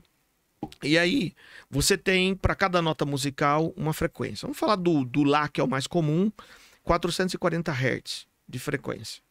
Se eu te der um nas suas mãos e você segurar próximo ao seu ouvido e eu estiver com outro aqui e eu bater o meu, o seu vai, vai, vai, vai soar no seu ouvido, mesmo você não tendo batido. Sim. É frequência e vibração. Frequência e vibração, 440 aqui, 440 aí. Isso, que é uma vibração muito alta. Exatamente. Então, vamos falar assim: quando você vai lá e assina o atestado de pobreza, e você, para fazer aquilo, naquele momento você entra numa vibração dessa. Pastor, o senhor está Caraca, falando cara. totalmente de física quântica. Que interessante. isso. Totalmente. Esse é um é contrato totalmente física e- quântica. E é um isso. contrato espiritual, né? Porque Sim, mas a pro- física quântica não deixa de ser. Ela é, tudo Ela é. é, sim, Ela é. sim. Física sim. quântica, o que ele está falando é o que o doutor Hélio Couto fala. Sim, sim, é muito interessante. Entendeu? Muito, muito interessante isso. E aí, e- Você é faz um, a questão do um atestado, né? acordo com a prosperidade, E ou você faz pessoas- um acordo com, Com a a escassez. escassez. É isso. E as pessoas que reclamam, que, que vivem. Ficam vibrando em Tá vibrando sempre 20, negativamente. né? 30, né? Tem mais pergunta aqui, pastor, mas eu preciso fazer uma pausa. Enquanto o senhor toma uma água, toma aí um. um... Mola um pouquinho aí a garganta. Tem, tem tanta pergunta aqui que tá assim, que o pessoal tá. O pessoal tá. Aham, tá Tem mais- pergunta. Enquanto, enquanto o pastor toma uma, uma É. aguinha aqui, eu, queria, eu quero falar sobre o, o nosso parceiro aqui, que é a clínica, eh, o espaço terapêutico Casa do Alto, que fica em São Roque, do Marcos e do Robson. Ah, você que tem problema com depressão, burnout, eh, borderline, alcoolismo, ah, dependência química, seja ela qual for a substância, você está precisando dar um tempo para você fazer um stop introspectivo, você está com um problema na família, não importa, você está com um distúrbio é, psíquico, alguma coisa que está te perturbando e não está deixando você ter a sua vida funcional como deveria ser. Espaço terapêutico Casa do Alto em São Roque, Marcos e Robson. Eles têm lá uma visão diferenciada no tratamento dessas, dessas situações, dessas condições. Então, quando você chega lá, a gente até fala muito disso, né, Tola? Quando você Sim. chega lá, eles fazem uma avaliação e vão falar para você assim, ó, muito individual. Eles vão falar assim, ó, para você a gente vai propor 30 dias de você ficar internado. Para você a gente entende que você precisa de 45 dias. Ó, para você, três meses, para você, quatro meses. Ó, você, neste caso, você vai ficar aqui com a gente durante o dia, à noite você volta para tua casa e amanhã você volta com aquilo que você precisa trazer da, dos sentimentos, das emoções. Ou então, você vai só dormir aqui, durante o dia você fica em casa, ou o contrário. Então, eles têm uma visão muito ampla no sentido de tratamento para distúrbio que seja que você precise. E eles estão num espaço ali em São Roque muito bonito. Eles têm uma equipe lá preparadíssima com psiquiatra, psicólogo, nutricionista, preparador físico, enfermagem, segurança 24 horas. Eles têm uma academia, um espaço para você poder fazer o seu tratamento de uma maneira humanizada. Então, o Marcos e o Robson e a equipe deles lá estão preparados para te receber. O telefone, a Ana não me passou de novo, mas eu vou buscar aqui porque a Ana hoje, ela tá assim, sensacional. Obrigado, viu, Ana? Eu vou pegar, imagina, eu vou pegar aqui o Marcos e Robson. É bom porque quem faz ao vivo é assim mesmo, né? Ah, vamos pegar aqui o telefone do Marcos, que é lá da Casa do Alto. É bom que eu vou falando aqui, vou falando, vou repetindo, vou falando, vou repetindo, vou decorar. Marcos e Robson. Mas é, é, claro que a gente brinca aqui, né? A Ana, ela tá cansada, tá de 17 anos já, né? via, via, já se formou. É uma jovem senhorinha. É uma jovem senhora, uma jovem senhora. e quem tem o pai também que tem que tadinha, a gente tem que dar o desconto. Ó, Clínica Espaço Terapêutico, Casa do Alto em São Roque, Marcos e Robson. Você vai ligar lá no telefone o seguinte, ó, 11 9 8897 8471. Vou falar de novo, ó. 11 9 8897 8471. Gente, brincadeiras à parte, o Marcos e o Robson, junto com a é. equipe deles, eles têm uma, um, um, acolhimento, um carinho, uma visão humanizada de tratamento. Então, eles estão ali, ó, suítes, um quarto, conforto, que é o que precisa, porque acabou essa coisa internet, de que, ah, porque é, é. internet. Ah, ah, legal você falar disso. Internet é para você que trabalha, isso, né, que você trabalhar. que é empresário precisa trabalhar. Pô, como é que eu vou me internar se eu preciso trabalhar e como é que eu vou pagar minhas contas? Na, na Casa do Alto você tem essa possibilidade. Você vai, vai entrar ali, vai fazer uma grade para que não fira ali a grade terapêutica que você consiga. É diferenciado. É né? diferenciado, diferenciado demais, né? É, lá. Uhum. Sem dizer, pessoal, que é um espaço maravilhoso. Só para ah, homens, né, Mariana? Só para homens. Só, só, homens. Só, eles só atendem homens. Por enquanto, mas a equipe lá, eles estão. Eles estão querendo. Estão é... querendo já é. é. abrir uma, uma unidade ou Feminina. transformar numa unidade mista. É. Mas por enquanto só atende homens. Mas é um espaço extremamente é, bem preparado, com uma equipe humanizada. Então, você que precisa, gente, procura ajuda. Procura ajuda porque é importante, tá? Principalmente para quem já perdeu o controle aí. Então você já está bebendo demais, está usando droga demais, já está discutindo com a esposa, já está batendo nos filhos, já não está conseguindo trabalhar, está faltando, está inventando coisas para não, não, não ir para o trabalho. Gente, isso é tudo vida disfuncional. Clínica Espaço Terapêutico Casa do Alto em São Roque, Marcos e o Robson. Entrem lá no Instagram também, casa, arroba clínica, é, clínica Casa do Alto, no, no, no site deles, casadoalto.com.br. Entrem lá, procurem, porque é um pessoal que está extremamente preparado para cuidar de vocês e dar uma atenção, porque a gente precisa ser tratado. Né? E voltando aqui, pastor, que coisa, né? O pessoal tá aqui num monte de perguntas. Eu vou ter, tá que, curioso. vou ter que ir para cá, porque não tem Sim, jeito, é pastor. polêmico, lógico. É, eu, eu, não vou.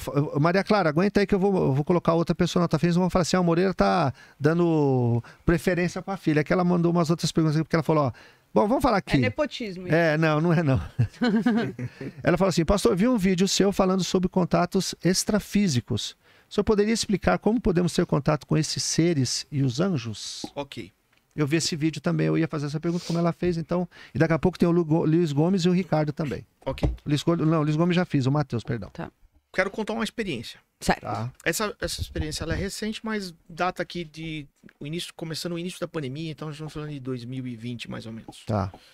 É, tinha um, um, parceiro de pesca, eu gostava de pescar, um, um hobby, então, fora, fora as atividades de igreja e fora o trabalho, a gente às vezes se reunia algumas vezes para ir pescar. em, no mesmo lugar, um lugar muito conhecido nosso. Um lugar onde a gente deixava o carro próximo do lugar de pesca, assim, Uhum. vamos dizer que uns 300 metros. Tá.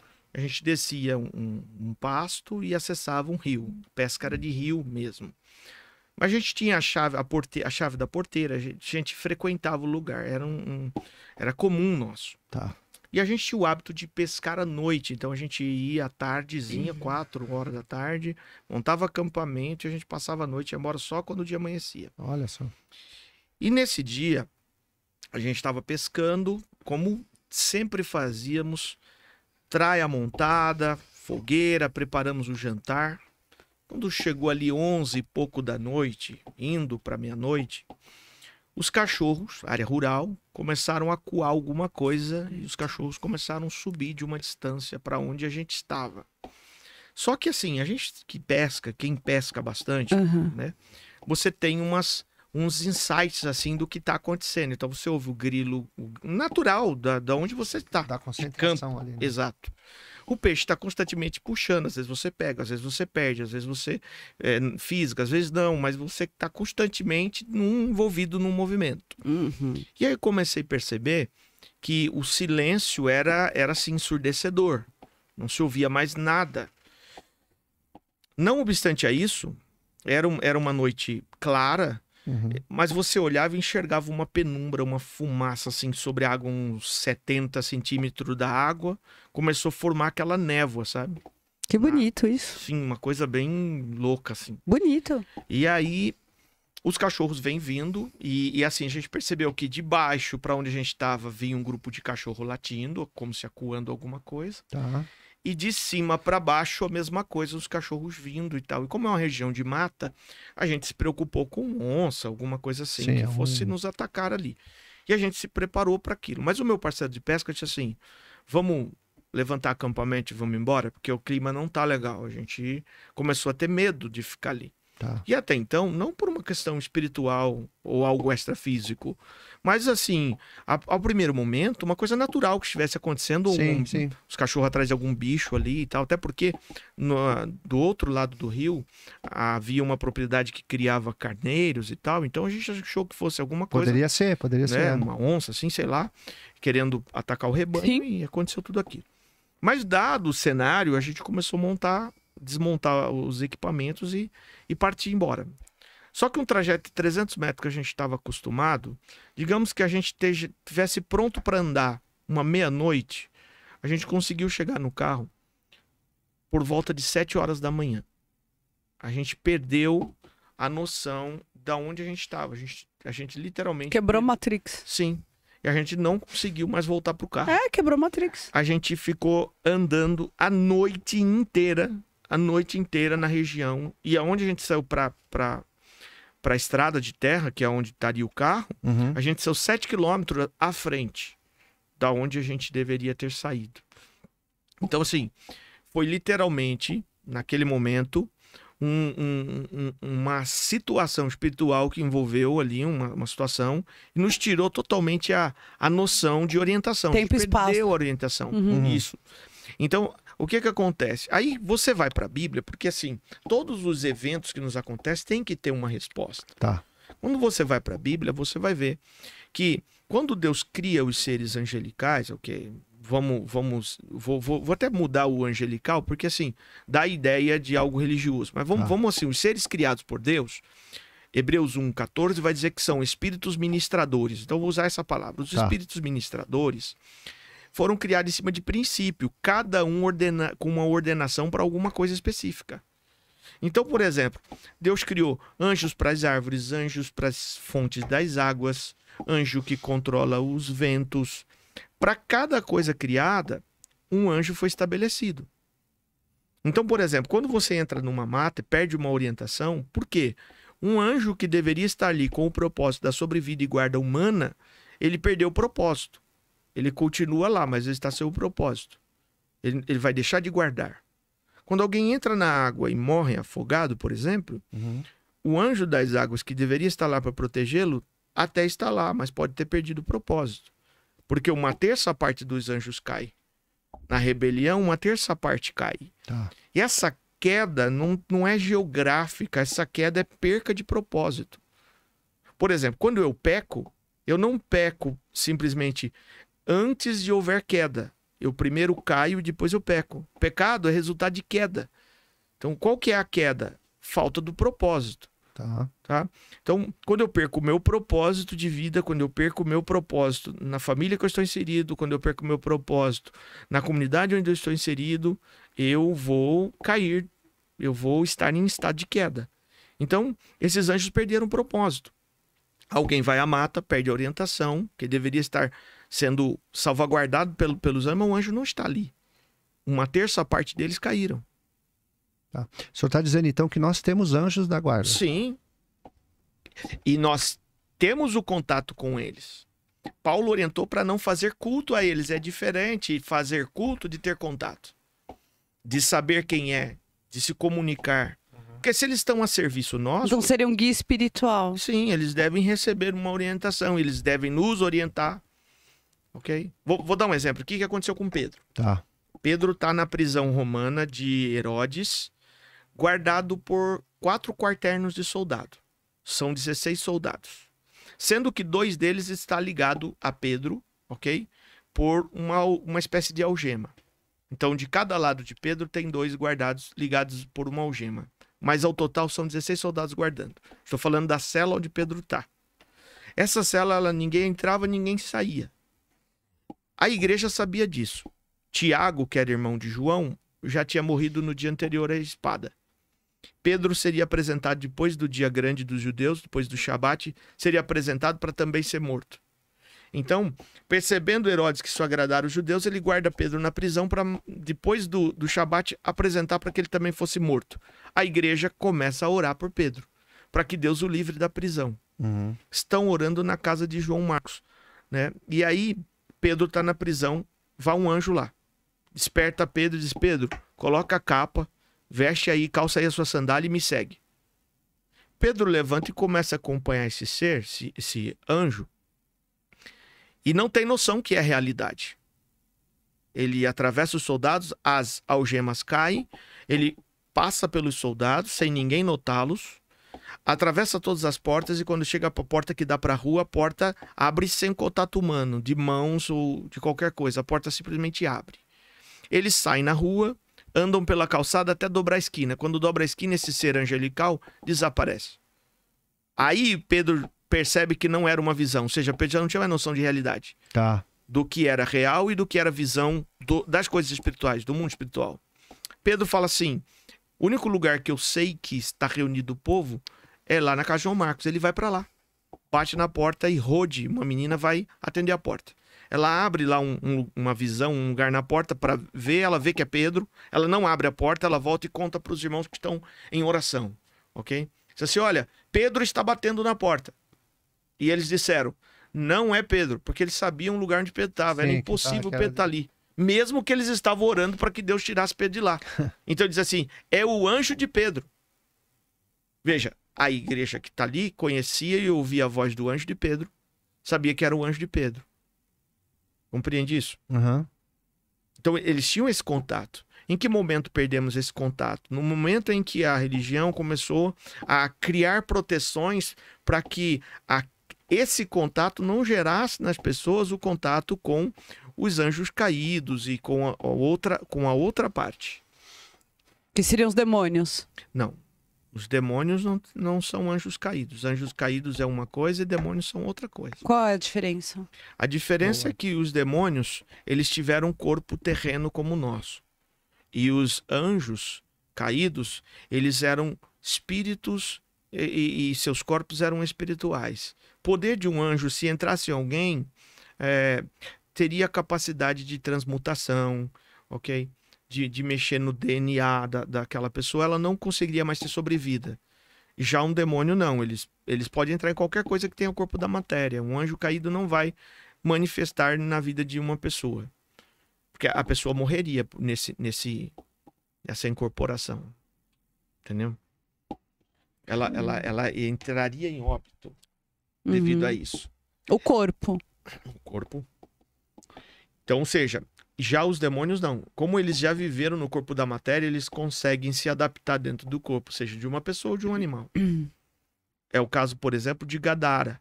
Quando Jesus chega na região de Gadara, encontra o endemoniado de Gadara, que a, a E manda pros fala porcos. o seu nome, mas chama de Gadareno. Hum. Então, é, é, os, os demônios, e a Bíblia fala, o homem estava endemoniado.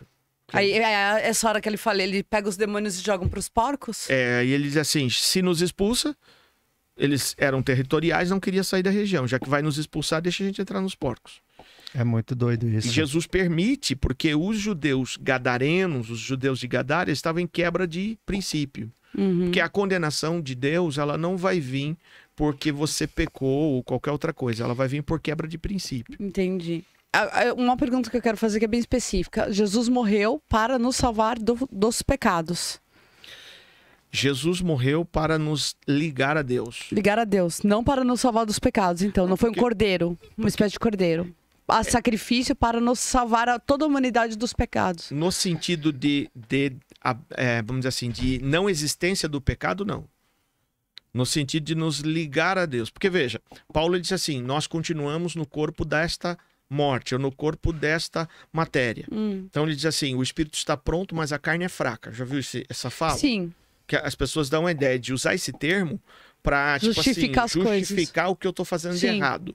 Mas o que Paulo estava dizendo é o seguinte: o teu espírito ele está pronto. No momento em que Jesus morreu, morreu na cruz e você o recebe como salvador pessoal, nesse Uhum. momento o teu espírito está de novo ligado a Deus. É um casamento, entende? Hum. A ideia do casamento não é até que a morte separe. sim. Essa é a ideia do casamento. Sim. Essa ideia do casamento vem a partir disso. É um casamento entre o teu espírito e o espírito de Deus. Há uma fusão. Essa fusão nunca mais, nunca mais ela vai ser desfeita, uma vez que o teu espírito é eterno. Essa fusão nunca mais vai ser desfeita. É por isso que está o argumento de que a salvação não pode ser perdida. Então, no momento que você reconhece que Deus ressuscitou o homem Jesus dos mortos, nesse momento, que não é prática de religião, senão o ladrão da cruz não seria salvo. Certo. Jesus disse assim, ele Estará comigo ainda essa noite na casa do Pai. Não. Essa é a ideia que a religião ensinou. Ah. Não é isso que está escrito. Ah, O que está escrito é o ladrão dizendo para Jesus assim: Senhor, lembre-te de mim quando vieres no teu reino. Ou seja, Uhum. quando você vir estabelecer o reino, isso vai acontecer ainda no milênio, após o arrebatamento da igreja. uhum. Ele está dizendo: nesse dia que você vier estabelecer o reino, quando vieres no teu reino, lembra-te de mim. Aí Jesus está dizendo assim: ó, eu te afirmo que neste dia, no dia que ele vier estabelecer o reino, estarás comigo no paraíso. Certo. Há uma diferença entre salvação e reino. Entendi. Ah, tudo bem, aí vai. O que foi nos ensinado, pelo menos para mim no cristianismo, foi: Jesus morreu pelos seus pecados. Ahn, Por que, que eu sou pecadora se Jesus morreu por mim já? Exatamente. Aí que entra o que Paulo falou. Uhum. Ó miserável ser humano que sou. E é Paulo que está falando. Miserável ser humano que sou. Que o bem que eu quero fazer não faço e o mal que eu não quero já está Esse eu feito. faço. E Paulo tá na escassez, então. por que, que ele diz assim que ele se considera um miserável? Porque Hum. ele está preso no corpo desta morte. Então, a salvação ela acontece em três estágios. Espiritual. Ela acontece no ato que você reconhece que Deus ressuscitou Jesus dos mortos. Uhum. o seu espírito está salvo. A sua alma, ela passa por um processo de salvação diário, onde você vai evoluindo e aprendendo e crescendo e se moldando, né? De acordo com os ensi- os ensinamentos do Cristo, e você vai recebendo salvação constantemente. Quanto mais desta palavra entra dentro do meu coração, mais salva minha alma vai sendo. Porque está escrito lá no livro de Tiago que procura conhecer a palavra e de perto sondá-la, porque ela é apta para salvar a sua alma. Então, quanto mais essa palavra está em mim, mais a minha alma está sendo salva. Por que, que Deus faria isso com os filhos dele?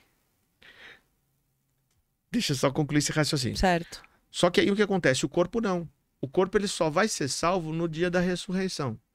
No dia em que esse corpo da matéria, que é corruptível, Certo. se revestir da incorruptibilidade. Uhum. Aí nós estamos totalmente. É, Mas vamos e Lázaro? Não, não alheios, né?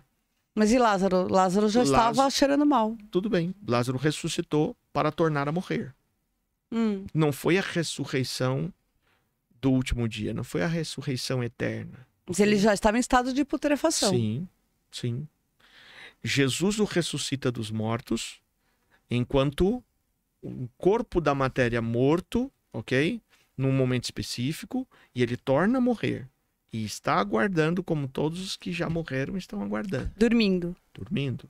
Mas não um sono no sentido de não sentir. Porque o sono da alma, à luz da Bíblia, ele não existe. Ah, Você, no momento do desencarne, é certo. ok? Você é direcionado. Quer a salvação, quer a condenação, e você vai aguardar para o, ju- o julgamento do último dia. Isso, isso é a luz da Bíblia, À luz da Bíblia. ok? Então, é claro que assim, eu conheço outras vertentes. Existem três vertentes. Morre e acaba, Certo? morre, ressurge, Uhum. e morre e segue-se ao juízo. E Existem a consciência que nunca termina. Ok? A consciência nunca termina porque é a, é, é, é a centelha divina. Exatamente, Faz a centelha parte de todo o divina. universo. Exato. Então, quer dizer, a morte e vida, na verdade, ela inexiste. Você sempre foi e sempre será. Sim. Você mas, é o mas eu a sou. morte do ponto de vista da matéria que nós estamos tratando. Sim. Então, do ponto de vista da matéria, você tem um dia, um ponto final. Todos nós aqui estamos na fila invisível da morte. E a senha vai ser cantada em algum momento. É, essa é muito boa. E a Então, gente não assim, sabe quando. De né? repente, 10 sou eu. E se aqui for a morte? ok? Agora, veja bem, no momento em que você está em vida, você tem três vertentes para decidir. Pode ter N religiões no mundo, 5 mil catalogadas. segmentos e vertentes teológicas, N vertentes, ok? Só que só existe três últimas realidades, só três. Morre e acaba. Vamos dizer assim, a gente vive numa Matrix e desligou o programa. Morre acaba. Segundo, morre ressurge. E terceiro, morre segue o seu juízo. Na minha concepção, na minha, na minha inteligência, eu acreditar que a partir da morte eu vou prestar conta dos meus atos enquanto em vida é a mais inteligente e acertada. Porque se morrer acabou, eu só vivi por um ideal e ok. Se morrer e ressurgir, eu teria a oportunidade de fazer diferente. Certo. Mas se depois da morte eu tiver que prestar conta, eu preciso estar com o meu amanhã segurado. Po- Posso dar Pode. voz aqui para os nossos. Por favor. É muito bom. É, o, são, na verdade, são três perguntas, mas uma, na verdade, o senhor já. O senhor já, já que é o pessoal aqui da Anta, Antares, tra, tra, Antares. Tra, Antares Travel. Travel. Travel. É, meu inglês Antares é maravilhoso. Travel. É, meu inglês é maravilhoso. É, que foi o seu contato físico com o sobrenatural, o pastor já contou É. aqui. Ele está falando o seguinte, pastor, ele está perguntando o seguinte: o que, que o senhor fala sobre amuletos na Bíblia? É, se o senhor tem algum. Se o senhor puder falar sobre o livro de São Cipriano, se ele realmente é poderoso, e se o senhor crê na questão dos reptilianos, se, se, se eles são anjos caídos. Então seria sobre amuletos reptilianos e São Cipriano. Olha Ok. aí, o pessoal tá Ok. mandando ver aí. Bom, amuletos eu tenho aqui umas pedras, né? então, eles são cristais? Não, aqui são pedras mesmo, Tá. tá? Que são pedras. É, jacinto, ágata. Não sei se dá Linda pra ágata. focando. É, Focando muito. bem aí. E olhos. ametista. É, bem bonita. Se vocês quiserem ver, fica à vontade. Ela é bem bonita. A ametista, ela parece muito pedra de quartzo, ó. Isso. ó. Eu gosto muito de pedra. Essa aqui parece que tem dois olhos, parece o- olhos de, de uma, de uma cobra. Sim, ela é bem bonita. É. Linda. Essa pedra Só- que é, qual é o nome? A preta? Turmalina, Turmalina negra. negra. Turmalina Ok. negra. E aí? Isso. E a- às vezes o pessoal usa também, a- a- no lugar da turmalina negra, a ônix. Ônix, é. É. Ambas são pedras para proteção. Isso. A questão é o seguinte: a Bíblia fala sim, ok? Dos amuletos e tal, ela, ela fala, principalmente a questão das pedras está diretamente ligada. O sacerdote, para servir a Deus, tinha que estar protegido por um escudo de pedras, que eram 12 pedras, o peitoral de juízo. Tá. Então ele tinha é, um peitoral de juízo que dava. Imagina um quadrado de um palmo por um palmo, ok? Um palmo por um palmo no- no centro, protegendo o coração Uhum. com 12 pedras. Até tem aqui uma, uma miniatura do que seria. né?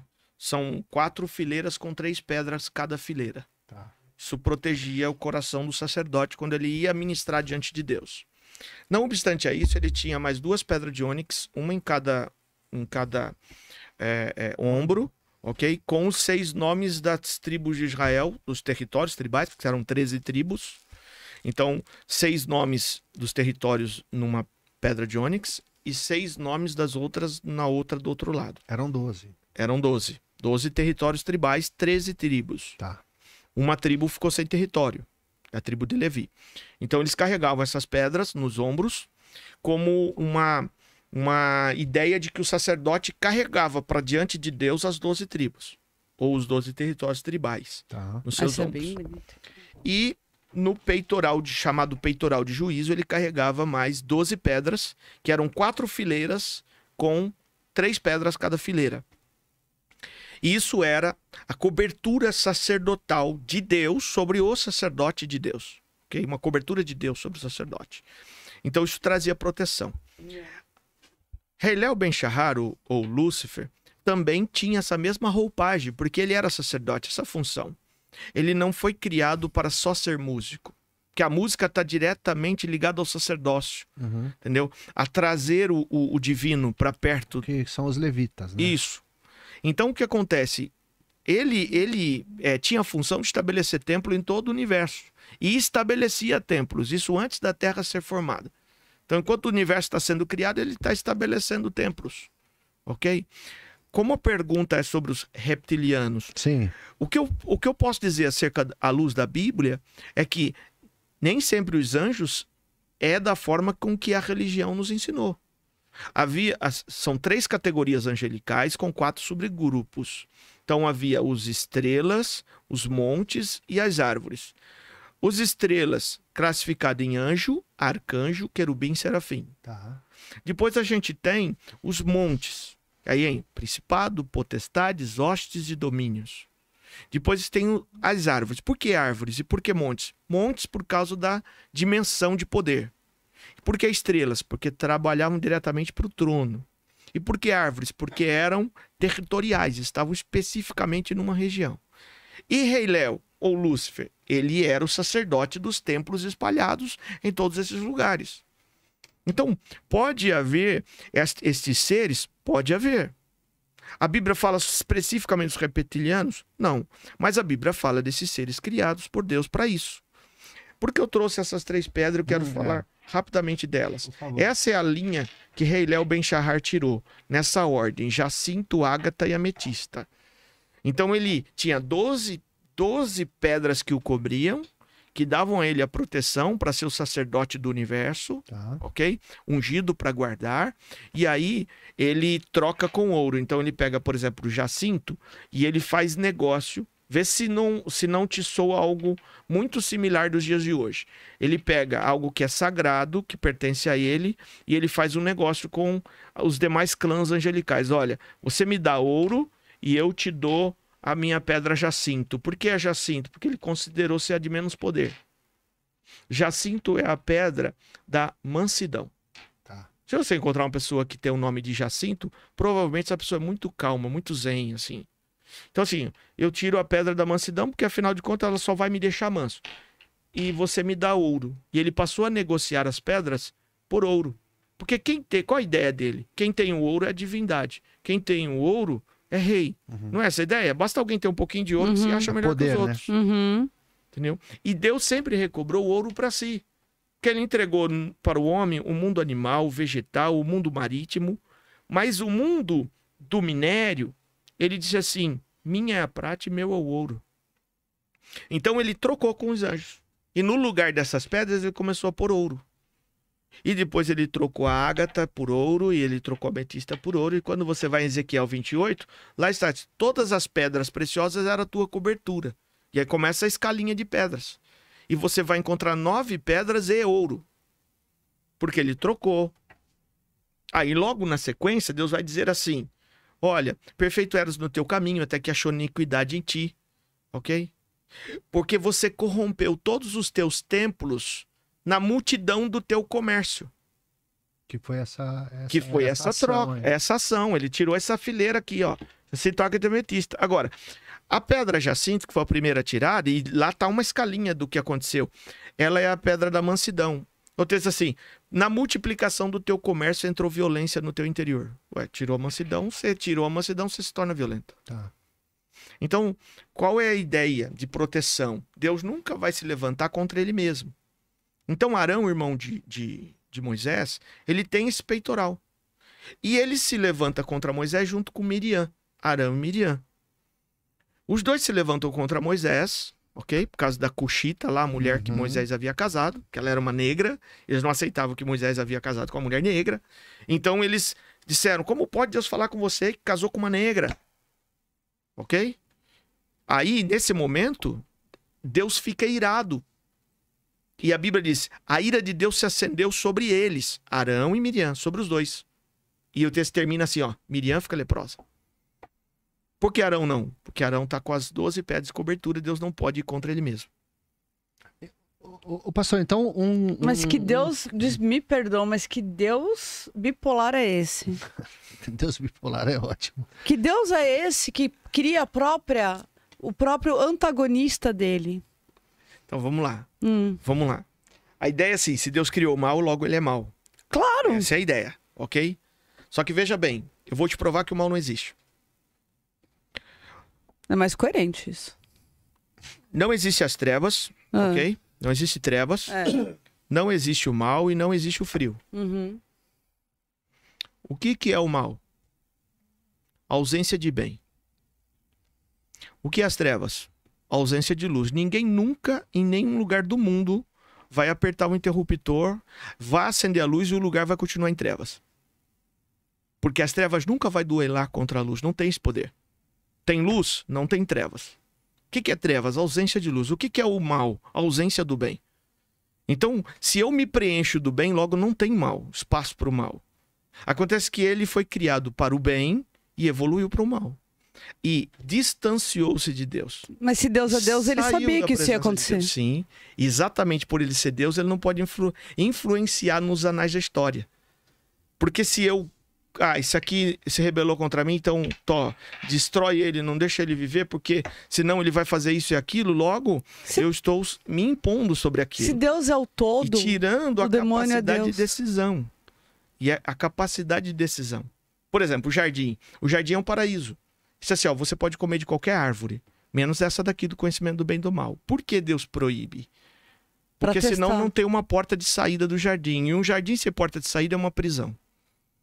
Então você tem ele sabia que ia de escolha exato, porque ele faz essa jornada. O e... salmo mais antigo da Bíblia, ele é o Salmo 90, verso 2. Moisés foi quem escreveu e ele escreveu assim, ó. Deus está brincando antes então. que os montes eternos existissem, sim, antes que tudo fosse formado, de eternidade e até a eternidade tu és Deus. Ele fez essa, esse jornadear eterno. Ele foi no, no Alfa e voltou. Por quê? Para fazer uma. para esquadrinhar, para fazer um projeto de criação. Porque veja, você não levanta de manhã. É... Desculpa. Tô lá. Tô, Tô lá. lá. É. Você não levanta de manhã, pega um papel e diz assim: ó, eu vou errar aqui, eu vou falhar aqui, eu vou perder aqui. Você não, não cria um projeto de falência. Mas toda pessoa que não faz um projeto falha. Então Deus precisa de um projeto para começar. Então ele, ele vai fazer essa jornada até o fim, volta no começo e ele começa exatamente pela solução, porque ele viu tudo e falou: não vou interferir nisso. Vou iniciar fazendo a, criando a solução. E qual é a solução? O corpo de Cristo. Então o primeiro a ser criado é o corpo de Cristo. Do ponto de vista da matéria, por isso ele é o primogênito de toda criatura. Ô, pastor, nós, ó, nós, faz nós, Pois é, mas nós vamos precisar fazer uma parte 2 com o pastor, é. porque eu tô, tô, com tanta pergunta. É, porque e... o Deus do Antigo Testamento e o Novo Testamento são, de, é, são, são é, personalidades que não têm absolutamente nada a ver. Fazer um, um, retorno do senhor aqui, é. de verdade. Pra, não, falar, sim. Pra, falar, pra gente falar somente disso, porque assim, tem mais pergunta aqui. Posso? Tudo bem? Não, claro. É, o Guilherme está perguntando assim: como que é possível fazer o contato com o meu anjo da guarda Acho que nós já respondemos, né? Acho que já respondeu como é possível. E a Maria Clara está perguntando se o senhor poderia explicar dentro da Bíblia se existem tipos de sonhos e se eles têm significado, alguma coisa, alguma ligação. Sim. sim. O senhor pode falar a, disso? A, a comunicação, a comunicação de Deus com o homem, ela acontece em, em, em vários aspectos. Uma, uma delas é através dos sonhos. Né? Uma delas é através dos sonhos. Mas aí você tem intuição, aí você Uhum. tem um- uma série de outras, que é o contato do, do divino, do sagrado, com né, do Criador com a criatura. Uhum. Seja ela para te dar uma, uma visão do que vai acontecer o amanhã no preparo, por exemplo. Você pega lá o 11 de setembro, você tem um monte de história de pessoas que, assim, olha, é, eu acordei para pegar o meu, meu, meu Trem, né? trem e eu perdi o trem. Sim. O outro, Sim. então, olha, eu não senti de ir. Alguma coisa me diz para ficar em casa. Então, assim, é, é fato que essa comunicação acontece para te dar um. Ó, não vá por esse caminho. Né? E isso pode acontecer. Por exemplo, eu tenho uma viagem marcada, vou para, ah, sei lá, Santa Catarina, ok? Em tal dia, em tal horário. E aí eu sonho que aquele, aquele voo que eu vou fazer, ele vai cair. Eu já Aquele nem filme- vou. Aquele filme Premonição, né? Exato. Ok? Eu já então, nem iria. Então, ou seja, se eu receber um insight assim, muito específico, ah, mas pode ser medo que eu tô tendo? Pode ser E- também. Pode criou ser uma coisa medo, na minha claro. cabeça. Pode ser também. Aham. A mente continua trabalhando depois que eu tô apagado do, da, da Na parte verdade, é a parte que ela mais Mas trabalha. Deus pode falar É com no a gente sono REM. sonhos. É no sono REM, claro. Sim. É. Então, o que acontece? Os sonhos, sim, tem uma linguagem é, é, divina aí, né? Sim. Então, você... E também tem um detalhe, Premonitório. Uhum. premonitório, né? De, pra te dar insights. Sim, com certeza. Isso eu acredito. resposta. sim. Eu lembro que quando eu estava fazendo ah, Eu tenho ah, muitos um- desde uma das, das minhas eh, pós-graduação, eu, eu tinha uma dificuldade para fazer a conclusão do curso. Aham. E aí eu não conseguia encontrar as respostas específicas daquilo que eu estava procurando. E aí eu fiz o, a famosa gatilho, né? Pego um copo com água e aí à beira da cama faço a pergunta que eu quero a- obter a resposta, o, o insight que eu preciso, tomo uma parte da água, reservo o restante e vou dormir. Acordo no dia seguinte e vou estabelecer o gatilho, vou tomar o restante da água. Por- Ok? Uma sinapse, um link Isso, mental. um link mental para que o meu subconsciente me responda aquilo que o meu consciente precisa saber. Então, os sonhos respondendo sim, ela. Legal. Pra, eh, eu tenho mais um, só um questionamento antes da gente Uhum. encerrar, que eu até anotei aqui. É. Não, ah, dá pra gente ir quatro horas. Claro. Isso aqui que tá mara- uma delícia a conversa. Sim, eu nem cheguei no Apocalipse. Pois é, mas vamos ter que deixar pra É. próxima, porque Tem senão a um, gente legal, vai. tem um negócio do apocalipse legal que acho que podia entrar para não, não cortar até a questão dos anjos. né? Aí não vai ficar minha pergunta, pô. Qual que é a pergunta? Mas Mas tudo bem, vamos lá, vamos falar. Então, Ó. o que você quer falar? Temos mais 10 minutos aí. Caiu, caiu, você bem rápido aí de repente. Não, entra no seu. Ó, Ah, não o der, não Apocalipse é um sonho, é um pesadelo pastor, de se não João, der, né? não tem Caiu, problema, mas não é falar. João. terça parte dos anjos. É uma Tá. noia de João, Apocalipse. É o quê? É uma noia de João, velho. Tomou uma ayahuasca lá, alguma Mas coisa se- foi. Se, se Ah, for, se- é, pressupondo a partir desse, desse pensamento, então Paulo, Daniel e Ezequiel estavam na mesma noia. porque, Todo mundo tomando o é, mesmo barato. né, em, em- em épocas diferentes, né? Mas é- mas vamos lá. Sim. Uma terça parte dos anjos caiu. Então, uma terça parte de tudo ficou sem o propósito da cobertura. Tá. E aí, quando começa a ser derramadas as pragas da ira, da ira lá, do Apocalipse, Uhum. você vai começar a olhar o texto e vai assim: ah, tocou o anjo tal trombeta e foi derramado tal taça da ira, tal, sobre as árvores. E a terça parte de toda a vegetação se perdeu. Coitado das árvores. Foi derramado nas águas, fonte das águas. A terça parte de todas as fontes das águas se perderam. Das naus, as ma- dos mares, até as embarcações, a terça parte se perdeu. Ok? Foi derramado também no sol, e a terça parte do sol se escureceu, e a terça parte da lua, e a terça parte das estrelas. Por quê? A terça parte de tudo está sem a cobertura. Porque Deus Porque ficou uma bravo. Porque Deus ficou bravo. Ok? Entendi. Se Deus tivesse tomado um Rivotril, isso não teria acontecido. Não, mas é. Era. é, tá lá, tá lá. Tá. Não, não tô, não, tô terça, falando uma sério. terça parte Tá. caiu. Então, Por porque isso, uma então, que tem parte essa- Caiu, sim, tá sem, tá sem Porque propósito. se Deus se ira. Como é Sim. que Deus se ira? Moreira, a gente até questiona isso. Se Deus é, É. Deus, como se Deus você, se ira? Você se ira. Claro! Você se sente uma pessoa? Sim. Ok. O fato de Deus irar-se prova pra mim que ele é uma pessoa. Exatamente. Seria em. E ao é, mesmo tempo ele é Deus. Sim. Então eu sou Deus. Sim. E a Bíblia fala isso. Vós sois deuses. Então, Eu sou Aliás, Deus. a Bíblia diz que se, se eu crer, eu vou fazer coisas maiores do que ele fez. Sim. Então, então todo mundo aqui Sim. é Deus. Graças então esse a- Deus, Então, esse Deus me graças colocou. a Deus. Eu, eu, eu, eu Então- quero fazer minha pergunta. Então esse Deus não existe. Existe. Mas aí é com você. É. É, ó, gente, tem, ó, tem mais perguntas aqui, mas a gente não tem. Como ó, tá perguntando aqui se tem alguma simpatia para prosperidade. Ah, isso aí não é com a gente, já falou não. já, não é com a gente. É, aí- aí, bom, Rota Livre tá perguntando o seguinte, vai, eu não vou conseguir fazer minha pergunta, fica para a próxima, pastor. Vamos fazer parte 2, hein? Parte 2. O pastor falou sobre o livro de Enoque no começo. O senhor pode explicar ele um pouco melhor? Lá fala sobre extraterrestres e contratos extra- extrafísicos. Seria por isso que o Vaticano tirou ele da Bíblia? Pode ser? Aí é só uma opinião. Eu acho que sim, eu penso que sim. Sim. Nossa, o né? Vaticano tirou tanta porque, coisa. Porque né? o que acontece? Tudo que ia contra aquela ideia de Aqui, né? aprisionamento, né, para se tornar massa de manobra, obviamente que eles. Muita coisa tá escondido lá, né? Ah, Muita é. coisa tá escondida lá. Pastor, o senhor é pastor das, da. Assembleia. Podemos falar da, Claro. teu- da Assembleia de Deus. Sim. Que é uma, uma, uma. Eu já preguei em Assembleia de Deus, já tive a oportunidade de, de ir ao púlpito de, de algumas Assembleias de Deus. E foi bênção, né? Para mim foi uma honra né, ser chamado e tal, para dar meu, minha, meu testemunho e levar a palavra de Deus. Que é uma, uma igreja extremamente. é, ah, Tradicional. tradicional. Sim. E o senhor traz uma visão totalmente. Vou, vou até parafraseá-la, antagônica, se a gente Antagônica. pensar na, na questão do ministério, Sim. né? As pessoas, né, o- o- as pessoas que estão sobre o vosso eh, pastorado, elas entendem isso ou Elas lá dentro, aceitam? ou lá dentro existe pessoas que questionam esse, esse- essa posição senhor? Só para a gente poder fechar, Ok. porque eu- Na, ver- na verdade. essa era a assim, minha pergunta. Entendi. Na verdade, é assim, olha. é, dentro da, da, da igreja e da- dos lugares onde eu, eu ministro, a gente entende que há uma necessidade de que as pessoas elas tenham uma evolução do pensamento a partir de uma liberdade, ok? Uhum. que a religião ao longo de muito tempo. Por exemplo, você, você citou o Vaticano, mas olha só, foi muito tempo onde do, de 304, que é o surgimento da, da Igreja Católica especificamente, é, até que acontecesse a reforma, que foi só um movimento, mas ela não reformou o que deveria ser reformado, ok? Nós temos a mesma curvatura em menos de 20 anos acontecendo para os mesmos efeitos do comércio da fé, entendeu? Do aprisionamento para tornar o povo como massa de manobra.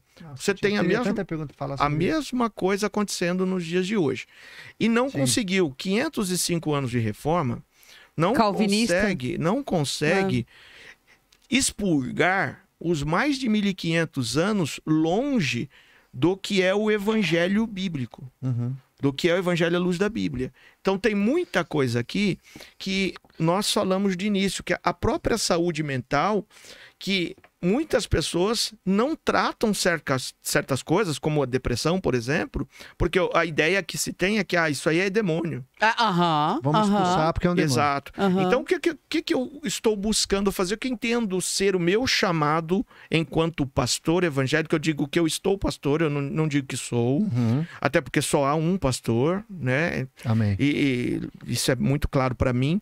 Mas assim, como um líder, como um mentor espiritual, como um, um mestre que precisa Uhum. pegar na mão de alguém, né? E Certo. levar a- essa pessoa a um autoconhecimento, primeiro de si próprio, depois do divino, e, e da necessidade de nós nos tornarmos pessoas melhores para a humanidade, eu tenho entendido que o meu propósito de vida é levar as pessoas à Bíblia.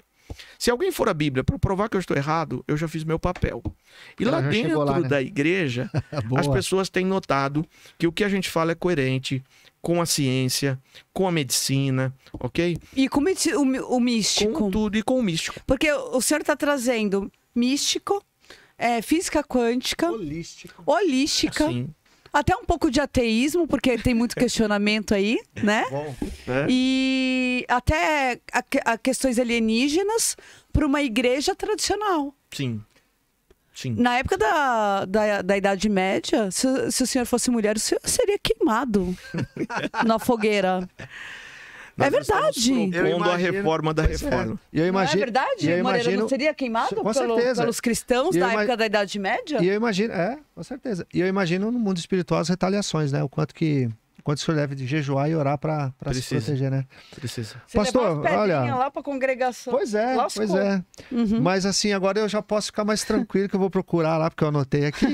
Porque eu ganhei umas pedras de, um, de uma pessoa e eu fiquei meio assim, porque por falta mesmo de, de, de conhecimento, De e às conhecimento. vezes dessa coisa que o senhor falou, de estar aprisionado. Eu Então, nossa, foi Você demais. sabia que os gatos, só um adendo, os gatos, eles têm quartzo aqui, ó. Quando eles fazem o ronron, É sabe? um quartzo? É um um- um- uma pedrinha de quartzo. Tua lá e suas preciosidades. É verdade. também é Por que, que os gatos eram queimados com as mulheres na fogueira? Principalmente os gatos pretos. Por isso que eles são demonizados, gato preto da azar, por conta da igreja católica. Pois é, mas é ignorância. É né? ignorância, né? Muita ignorância. né? Eu só tenho gato Olha, preto. ó, eu tô lá. Pastor, nós ficaríamos Eu mais adorei, tempo aqui. amei. Foi maravilhoso, Sim. de verdade, de verdade. Porque eu gosto Nós do contraditório. Não, é eu amo, eu foi amo ótimo, contraditório. Foi ótimo. É. Pastor, que Deus abençoe a Amém. vossa vida, Amém, que né? continue, que o senhor continue trilhando fortemente esse caminho, levando a palavra. Acho bacana, porque você tá levando abrindo um essa- mundo diferente é, pra essa igreja. abertura de mente. Hoje É. eu ab- abri minha mente para muita coisa. É.